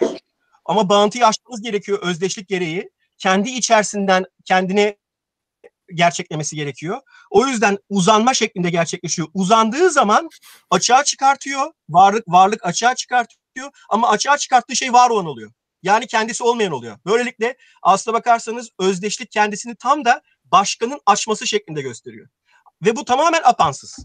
Ama tersinden de okuyabilirsiniz. Bir yandan da öyle bir muhafazalı yapıya kavuşuyor ki var olan içeriği doluyor, içerikle doluyor. Çünkü her şeyi yakınına doğru çekiyor. Kendi sunumunda hatırlarsınız tapınak örneğini ver, tapınak örneğini işlemiştim. Burada tapınağı düşünebiliriz. Tapınak, tapınak her şeyi kendi içine çekiyor. Her şeyi çevresinde döndüren bir güneşe dönüyor. Bir merkez haline geliyor ve bütün tarihi, zamanı, mekanı, insanların yaşayışını, tanrıları ve yeryüzünü orada topluyor. İşte bu toplama e, toplamaktan daha fazlası var. Ait kılıyor. Herkese kendi mülkünü, herkese kendi özünü veriyor, bahşediyor. Ama o almış olduğumuz bahşet, bahşedilen şey bize, yani mülkiyetimiz, bizim bize mal olan şey, biz olmaklığımız, kendiliğimiz aslında bize ait değil. Çünkü Enteignis dediği bir şey var Heidegger'in. Sürekli olarak e, e, bize vermiş olduğu, bahşetmiş olduğu şeyi geri alıyor. Yani varlık geri alıyor. Çünkü e, kozmostayız, çünkü başkalarıyla birlikteyiz. Çünkü me- mekandayız, zamandayız, yeryüzündeyiz. Bize ait olan, sadece bize ait olan bir uzay ve zamanda yer alıyoruz. Bu yüzden de bize ait olduğunu düşündüğümüz her şey bizden sonuç olarak o anda geri alınıyor. Çünkü onlar başkasına da ait. Her şey bize bizim kendi bizi kendimiz kılan her şey aynı zamanda karıncaya ait, suya ait, e, tanrılara ait, yeryüzüne ait ve gökyüzüne ait. Bu dörtlüye ait. O yüzden de Enteignis, Vereignis, Vereignung ilişkisini görüyoruz. Bir yandan bize veriyor, bize mal ediyor, bizim olmasını sağlıyor. Kendi özümüzün ve kendiliğimizin bu şekilde özdeş, özdeşlik hareketi var. Ve bir yandan bizi tam kendimiz yaptığında biz bunu tam olduğumuzda aynı zamanda başkalarını, ayrı ayrı olanları, farklılaşmış olan bütün sonsuz çeşitliliği de eş, zaman olarak apansız bir şekilde, köprüsüz bir şekilde gerçeklemiş oluyoruz. Buna Erasmus diyor. E, Heidegger'in Erasmus'tan anlamış olduğu şey mistik bir şey değil, anlaşılmaz bir şey değil. Her şeyin kendi olurken bütün başkaları, başka kalan bütün her şeyde kendilemesi demek. E, Erasmus kendilemek olarak bence çok iyi çevrilebilir. Çünkü transitif bir fiil. E, olmak değil, ola gelmek değil, başka kalan her şeyi gerçeklemek demek. Bu şekilde örneğin e, bütün bir doğayı okuyor. Örneğin biliyorsunuz işte su geldiği zaman ağacın köklerinden yapraklara dönüşüyor. Yapraklar karıncalara hayat veriyor. Karıncalar ve böylelikle bir muazzam bir kreis, dans, e, bir halka dansı, bir halay çekme şeklinde okuyor. Bütün bir evreni. Buna yaşam yaşamın da yaşa, yaşamayan her şey dahil. Ve bu bir Erasmus ilişkisi. Şimdi sorumu geliyorum uzattım. Ee, bu, bu acaba e, sizin kendi okuyuşunuz tam olarak nedir? Ee, bu Erasmus mevzunda ve bir şey daha sormak istiyorum. Üç, üçüncü sorum. Üç tane ayrım kavramı görüyoruz hocalarım. Bir tanesi difference. E, bu söylenmedi. Bu konuda da görüşünüzü almak istiyorum. İkincisi Unterschied ve üçüncüsü de e, Austrak. Austrak kavramını çok ele alıyor. E, hatırlayacaksınız hemen daha ön sözünde söylüyor. Diyor ki Erasmus ile Austrak arasındaki uyumu gören kişi özdeşlikten çıkan e, şeyi de anlar, e, farkı da anlar, ayrımı da anlar diyor. Tam olarak söylediği şey şu, eğer kulağınızı Austrak ve Erasmus arasında hüküm süren uyuma verirseniz o zaman özdeşlikten türeyen e, ayrımı da anlayabilirsiniz, diferansı da anlayabilirsiniz. Ve üç tane ayrı kavramı e, bir arada kullanıyor. Diferans, Unterschied ve aynı zamanda da Austrak. E, benim daha fazla uzatmak istemediğim için e, teşekkür ederek teşekkür ederek sor, sorumu sonlandırıyorum. E, iyi akşamlar.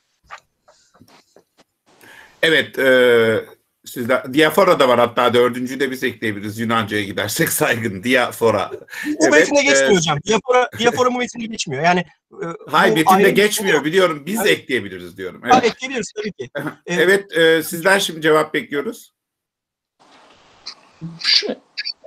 Evet e, Sinan sana. Tamam. Şöyle şimdi tabii hemen öz olarak şunu söyleyeyim. Bu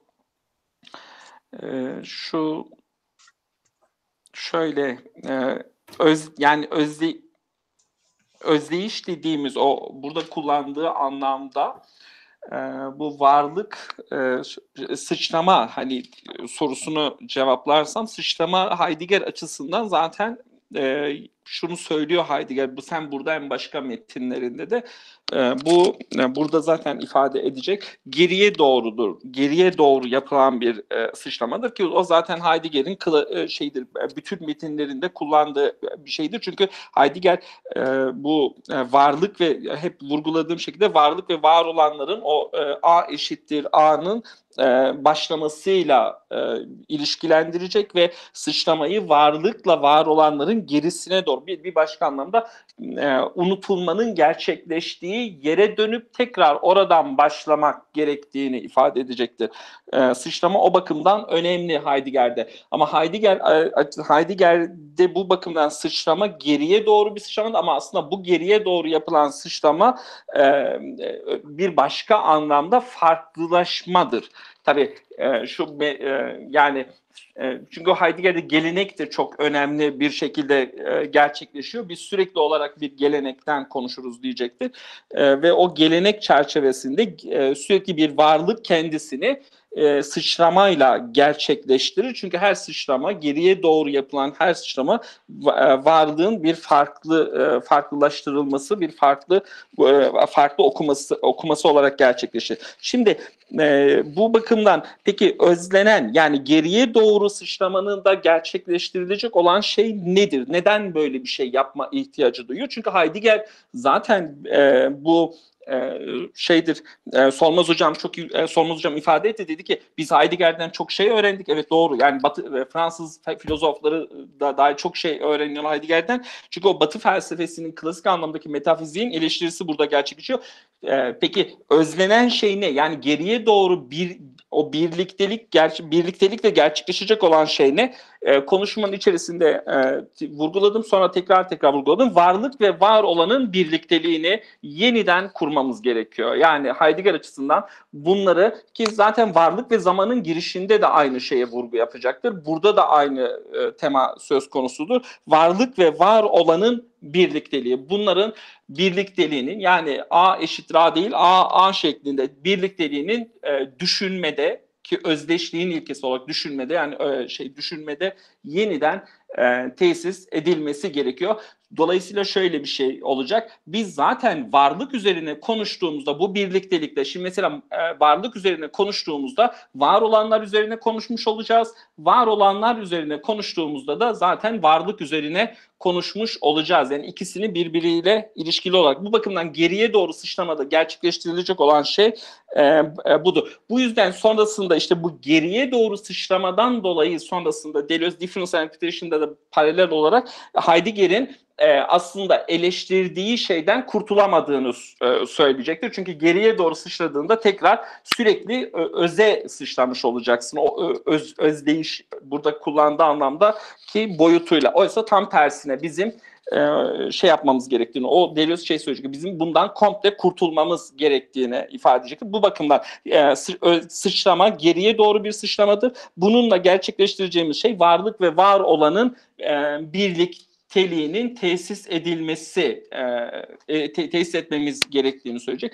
Diğer soru e, e, tam anlamadım. Tabii hani e, çok e, şeydi, çok karış, e, uz- uzun anlattınız. Aslında daha çok bir e, kon- teşekkürler e, konuşmaya bir ek ilave olarak ben anladım. Hani bazı eksik yerleri tamamlama e, bakımından.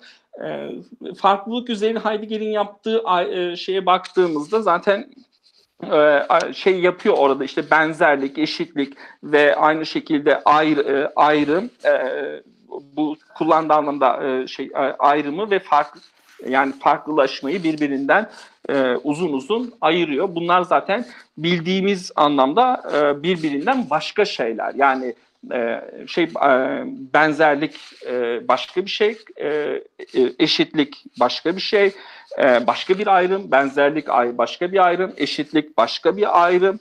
E, a- şey burada kullandığı anlamda ayrım ise başka bir şeye vurgu e, yapıyor. Biz e, bu bunu Heidegger zaten söylüyor. Bizim e, üzerinde durmamız gereken şey ise Heidegger açısından varlık ve var olanların birlikteliğini tesis ederken işte benzerlik ve eşitlik e, başkalığına düşmeden birlikte konuşmak konuşmamız gerekiyor. Belki bunu şöyle de diyebiliriz aslında burada da burada da geçer ama e, sanırım varlık ve zamanın girişinde söyler hani çok ifade diğer fels diğer bilim dalları e, e, filozofların ne söyleyeceğini beklemeden konuştukları için filozoflar konuşmaya başladığında artık hani mealen onların söyledikleri e, boşa çıkmış oluyor. Çünkü onlar sadece var olanlar temelinde konuşuyor. Oysa filozof var olanların varlıkların birlikteliği üzerine konuşacaktır. E, bunu e, şey yapabiliriz. Sıçrama bu şekilde söyleyeyim. O son sorunuza da e, zaten felsefe tarihi içerisinde e, bu ayrımı yani o dediğiniz ayrımı en güzel e, Aristoteles metafizikte e, çok uzun bir şekilde gerçekleştiriyor. E, yaptığınız belirtmeler için de tabii ki teşekkürler yine. Bilmiyorum hani açıklayıcı oldu mu ama şey tespitiniz e, doğru, güz önemli. Sıçrama, geriye doğru sıçrama ama aynı zamanda bu geriye doğru sıçrama e, aslında Heidegger açısından ilerleme de yok. Yani o yüzden yani farklı farklılaşma çıkıyor karşımıza işte. Yani şey kavramını o yüzden kullanmak istemiyorum. Geriye doğru sıçrama, ileriye doğru yapılan bir sıçrama dersek o zaman e, tarihselci düşünmüş oluruz ama bu aslında geriye doğru sıçrama farklılaştıran bir sıçramadır. İleriye doğru yapılan değil. Aslında geriye doğru gidip farklılaşıyorsunuz. Evet bir yerde Aufhebung'a karşı geliştirdiği bir şey. O Evet değil mi? Ben öyle anlıyorum çünkü. Yani ilerleme ders hani böyle de birkaç yazıda görmüştüm. Hani geriye doğru sıçrayıp ileriye gitmek değil. Evet Metin Bey sizin e, var evet. mı? Tamam, Ekleyeceğiniz. teşekkürler. Ee, Saygın Hocam sorunuz için ve itirazınız için teşekkürler. Ee, tabii çatıdan, geçtelden belki söz etmek gerek bunun için. Ee, çünkü geçtel altında var olanlar bir araya getiriliyor. İşte Avusturyak'ta belki de bu da anlaşılmalı. Çünkü Avustrak bir uzlaşma, anlaşma ya da sözleşme olabilir. Bu işte Heidegger'in varlığını yazgısı dediği şeyde her zamanda varlık ve var olan arasındaki fark, e, ayrılık e, ne durumda ise e, o ayrımı ya da onların birbirine ait e, nasıl olduğunu görebileceğimiz yön e, Avustra demek olabilir. Ayrım çünkü her durumda her zaman orada. Yani bir uzlaşma burada e, tabii ki söz konusu. Yani belirli bir zamanda ya da varlığın yazgısının belirli bir aşamasında e, varlık ve var olanın e, birbirine birbiriyle ilişkisi ya da bağı ya da e, bu bağın örtük e, durumda olup olmadığını görebiliriz. Bunu bu aslında Avustrak e, bizim bakışımızı yönelten, bakışımızı dikkat etmesi gereken şey olarak görüyorum. Diğer itirazla ilgili olarak da itirazınız çeviriye anladığım kadarıyla Ereğiniz dediğiniz gibi kendilemek olarak da çevrilebilir. E, Heidegger çevirileri konusunda hala birçok e, aslında bu bir sorun değil çünkü e, birçok şekilde ifade edilebilir. Ama en iyisi Almanca konuşmak o zaman. E, ben de öyle e, olsun isterdim. Ama yine de e, tüm dillerde biz bunu görebiliyoruz. Yani yine benim okuduğum kadarıyla Türkçe dili e, Heidegger'i anlamak için çok elverişli bir dil olduğunu bu konuşmalardan. E, ama yine de e, tabii daha farklı çeviriler yapılabilir bu. E, Hocam aslında itiraz değildi. Şöyle ki e, benim itirazım aslında Zusammengehörigkeit kavramıylaydı. Yani birlikte olma ve ile olma bu Heidegger'de kuşkusuz böyle ifadeler var ama onun onun asıl derdi aidiyet kavramından gitmek. Ait olmaklıktan gitmek. Bu biraz gözden kaçtı. Yani kendi çünkü oradan kendiye gidiyorsunuz. İnsanın kendi olabilmesi için kendisinin kılması lazım. Aneignen. Ve Eragnis de Aneignen kavramını biliyorsunuz ilişkilendiriyor. Eragnis'i Eroiknis'ten alıyor. Yani karşınıza gözünüzün önüne getirmeye e, tam olarak e, gözünüzün önünde getirerek ona onu sizin kılma, edinme anlamında anlıyor Aneignen ve burada doğrudan görmek kavramından yola çıkıyor. Ancak siz o karşınıza almış olduğunuz şeyle karşı karşıya geldiğiniz andan itibaren birbirinize uzanıyorsunuz. Ve bu uzanma hali apansız, tamamen köprüsüz bir şekilde birbirinizin içinden gerçekleşiyor. Ee, bu zamanın da özelliği bu arada. Zamanında ekstazlarını okurken birbirine varma, ulaşma, bahşetme olarak okuyor. Bu yüzden de örneğin e, Eraklis ikili gerçekleşiyor. Ben onu anlatmaya çalıştım. Yani bir yandan kendinizin kılıyorsunuz, çünkü kendinizi bırakıyorsunuz burada. Kendinizin kılmak için yapmanız gereken şey gelasınay. Var olmaya bırakacaksınız. Her şeyin size doğru gelmesine izin vereceksiniz. Ortaya çıkmasına izin vereceksiniz. Bunu yaptığınız zaman dolmaya, içiniz, iç, kendinizin kılmaya başlıyorsunuz. Bu Vereignen kısmı. Ama bir de Enteignen var. Onu anlatmaya çalıştım. Varlık size bütün bunları bahşederken aynı zamanda bütün bunların hepsini başkalarına da bahşediyor. Kendi özgünlüğü ve tekilliği içerisinde. O yüzden bilmelisiniz ki bu size ait değil gerçek anlamıyla size ait değil. O yüzden şöyle bir tuhaf tabir kullanıyor e, Heidegger. Özür dileyerek söylemek istiyorum son olarak zaman uzatmadan. In die Eigenheit, in die Eigenheit enteignen. Bu çok paradoksal bir deyiş. Kuşkusuz sizin de Metin Hoca'nın da belirtmiş olduğu gibi biraz Zen Budizminden aldığı bir şey. In die Eigenheit enteignen şu demek. Enteignen elinden almak demek. Yani sizin sizin olan şeyi sizin elinizden almak demek. In die Eigenheit ama kendi kılmak demek. Yani kendinize doğru bırakmak. Şöyle oluyor. Varlık size sizi, sizi eğer siz varlığa kendinizi açar ve onun size inmesine izin verirseniz onu kendisini size bahşediyor. Bu in die Eigenheit anlamında yani size uğruyor, varıyor ama aynı zamanda kendisinin kıldığı için yani verborgen tuttuğu için, gizli tuttuğu için çünkü siz kim olduğunu sorusunu direkt yanıtını hiçbir zaman veremiyorsunuz. Evet ben şu anda oldum ama bu sorunun yanıtını nedir sorusunun yanıtını verdiğiniz zaman hep bir soru işareti var. O yüzden de her zaman gizli ve saklı, saklı olarak bulunuyor. İşte bu ikili ilişki, Gehörigkeit ilişkisi, Zusammengehörigkeit ilişkisi e, gerçek anlamıyla kendileme ilişkisi. her şeyin birbirini kendilemesi şeklinde. Bunu sonra dans olarak okuyor. Karşılıklı olarak her parçanın e, tek e, yalın olmaklığı, tekil olmaklığında bir çok katlılık ilişkisi e, oluşturuyor. Daha fazla uz- uzatmak istemiyorum. E, o yüzden Suzamın'dan gidersek yanlış okuruz diye düşünüyorum. Asıl gitmemiz gereken kavram aidiyet kavramı. Ki sanırım modern felsefe de özellikle buradan gitti. Ben sadece bunu açmanız için size e, bu soruyu sormuştum. Tabii teşekkürler. Ee, tabii süre sınırı olduğu için Şimdi bilimler hakkında tek tek duramadık. Ama Yoksa itirazım itirazım kendime kavramında değil, değildi. İtirazım gereği- Evet, e, hatta bu konuda Evet. e, Metin e, Sinan'ın da demin dediği e, eleştirilere geçersek Fransız düşüncesinde yani Deleuze, Derrida, Levinas, Heidegger'in işte ne kadar e, farklı düşünmeye çalışsa da birlikten vazgeçmediği, bu yüzden Neo Platon yani Plotinos'a çok yakın olduğu ve e, birlikten de vazgeçersek ancak Heidegger'in amaçladığı şeye belki ulaşacağımızı e, bambaşka bir düşünceye ulaşacağımızı e, eklemişlerdir diye. O, onların eleştirisi de öyle şeydeki işte e, Levinas, Derrida ve Deleuze'ü beraber alırsak. Evet. hocam Bir- şey birlik o var. Heidegger'de tevhid var gene şey Evet. olarak işte. Aidiyet olarak tevhid var. Evet. şey Ne olur hocam o Metin hocam buyurun. Pardon Sinan Hocam siz tamamlayın sonra ben Hemen şunu eklemek istedim. Ya şey tartışma e, değildi de şey bir katkı olarak hani katkı olarak derken ait olmak kavramımıza e, Heidegger'de doğru çok önemli bir e, kavram ait olmak. Ama o ait olmak zaten aslında ait et, etme kendine ait kılmak. Heidegger sanırım tek, e, bilim üzerine derslerinde de bu kavramdan çok e, söz ediyor. Başka metinlerinde de bu kavramı kullanıyor. Öyle hatta şöyle diyecektir bu e, şey bak başka bir sanırım bilim üzerine o derslerinde söylüyor ait kılmak kendine mal etmektir diyor. Yani kendine mal etmek peki nedir?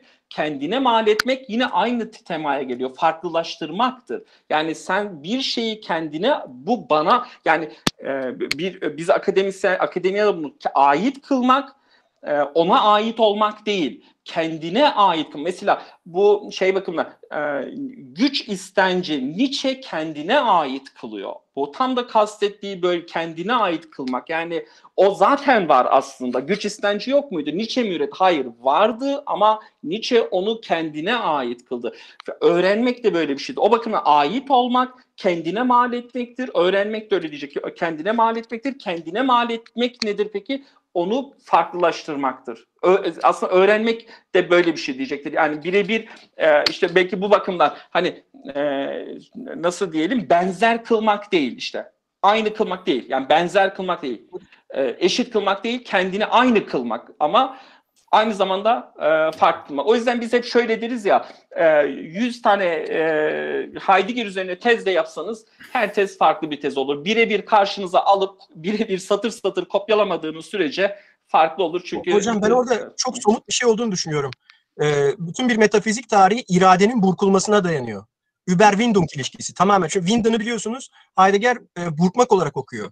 Sürekli olarak bir üst seviyeye geçmek için her filozof kendisinden önceki filozofları aşmak Kıvrın için diyor hocam ona daha çok. Ben öyle anlıyorum. Kıvrın. Bu sonrasında Fransız felsefesine de geçecek. Hani burkmak e, Windung, tabii Windung. evet kıvrım burkarak giderek şey ama Evet. onun için bir karşı kavramını kullanıyor Heidegger. Bu kitapta da var yani özdeşlik üzerine yazısında da var. Verwindung. Gevşetmek, serbest bırakmak, geriye doğru burkmak. Geriye doğru döndürmek. Bu neden gerekli? Çünkü serbestliğe ihtiyacımız var. İradenizi, iradenizi serbest bir şekilde bütün var olanların e, daha doğrusu varlığın sizi akması için, açması için, farklı olanaklarıyla açması için kendinizi bırakmaya ihtiyacınız var. Şu anda modern dünya kendisini tamamen bir konneksiyo ilişkisi içerisinde sürekli olarak kasıyor, burkuyor, büküyor. Ve özür sürekli- dileyerek şunu hemen söyleyeyim size. Tabii Metin hocamın sözü özür diliyorum. Öncelikle e, sözünüzü kesin Metin hocamın sö- söz hakkı ama o zaman şöyle bir şey çıkar.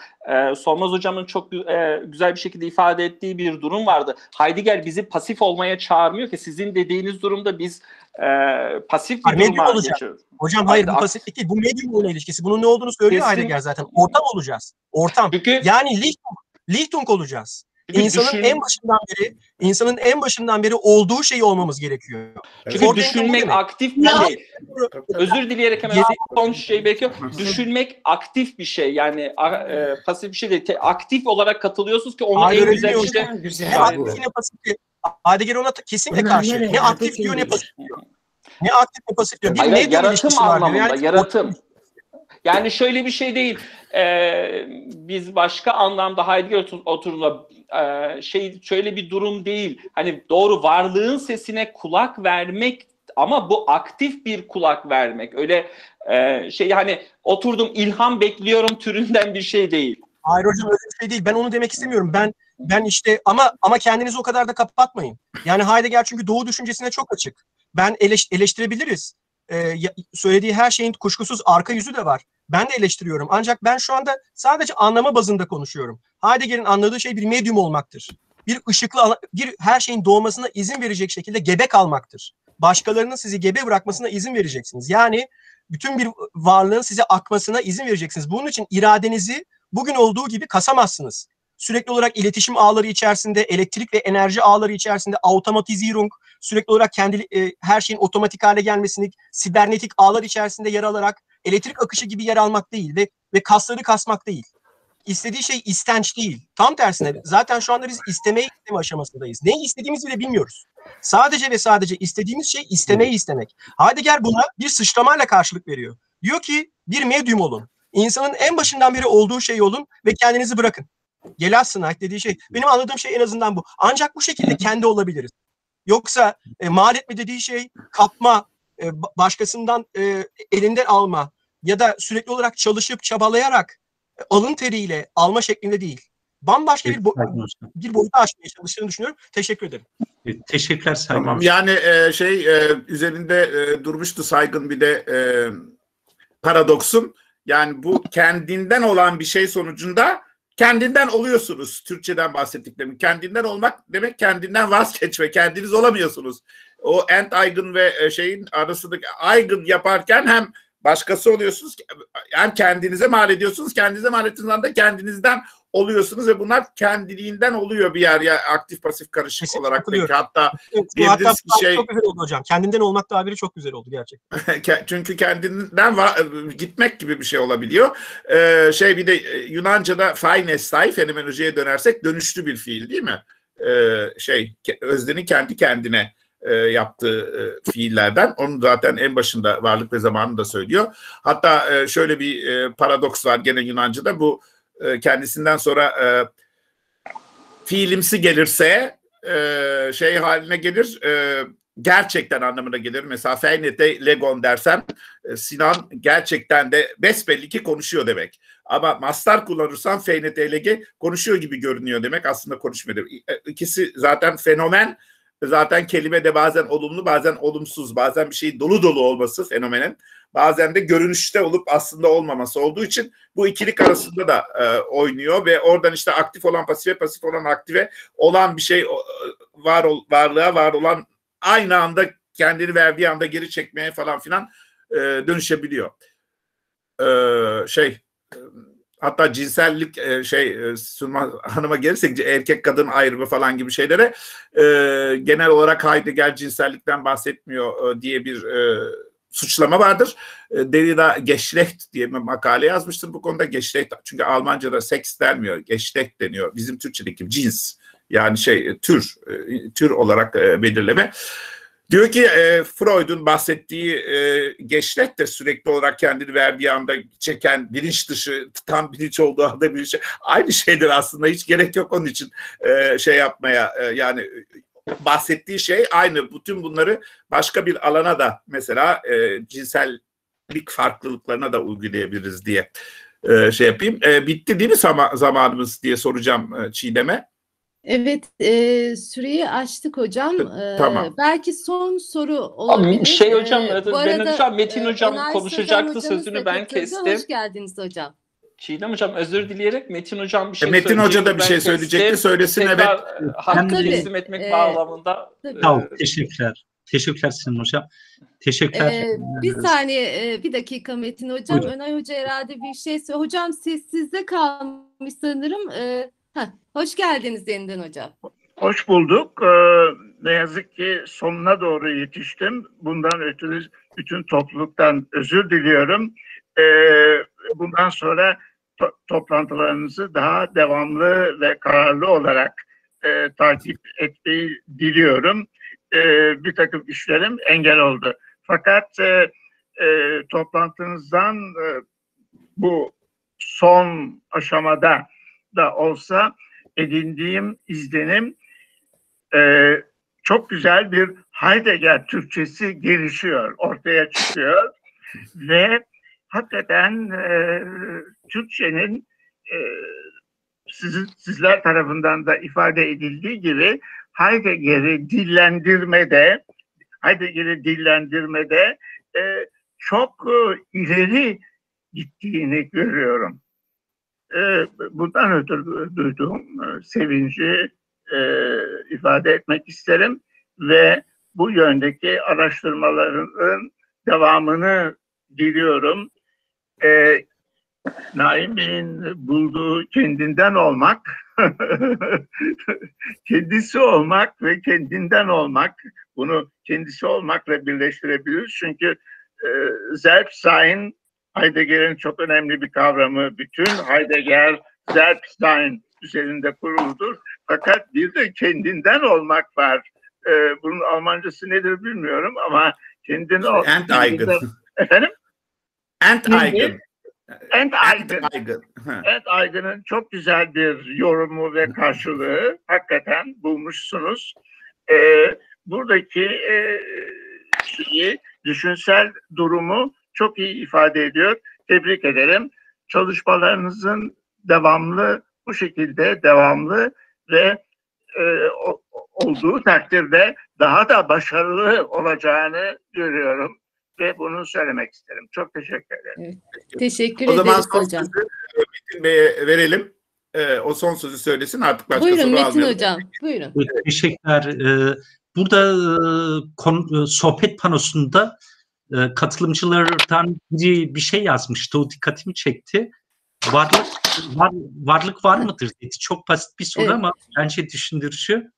Ee, varlık var mıdır sorusu, varlığın anlamı nedir sorusu bunlar çok e, sorulur ve sanki en güç sorular gibi görülür ama e, biz e, Heidegger'in metafizik nedir yazısını giriş ve son sözde okuduğumuzda bunlara bir cevap verebiliriz artık. Ee, evet varlık vardır ve hatta var olur. Ee, hatta var olanları var eder diyebiliriz. Çünkü çünkü e, varlığın anlamı zamandır diyor e, Heidegger. E, zaman da varlığın hakikatidir. Dolayısıyla varlığın hakikati zaman e, bunlar ve varlık e, bunlar aynı anlama geliyor. Bunu söylemek istedim. Belki o katılımcı hala burada olabilir. Onu cevaplamak istedim. Teşekkürler. Tamam. Almanca'da eskip sein diyoruz değil mi? Eskip sein varlık vardır demek ama o şey eskip veriyor e, anlamına geldiği için Heidegger Evet. orada da bir sürü oyunlar yapmıştı. Evet. Böylece bu akşamki e, çalıştayımızı tamamlıyoruz. Herkese çok teşekkür ederim. E, bir dahaki çalıştayda görüşmek üzere. Evet, teşekkür ederiz. E, Teşekkürler. Sunum yapan hocamıza, e, katkı sağlayan herkese teşekkür ediyoruz. Biz İyi de teşekkür akşamlar ederiz. Teşekkürler. İyi akşamlar. İyi akşamlar. Görüşmek üzere. Gelecek çalıştayda. Hoşçakalın.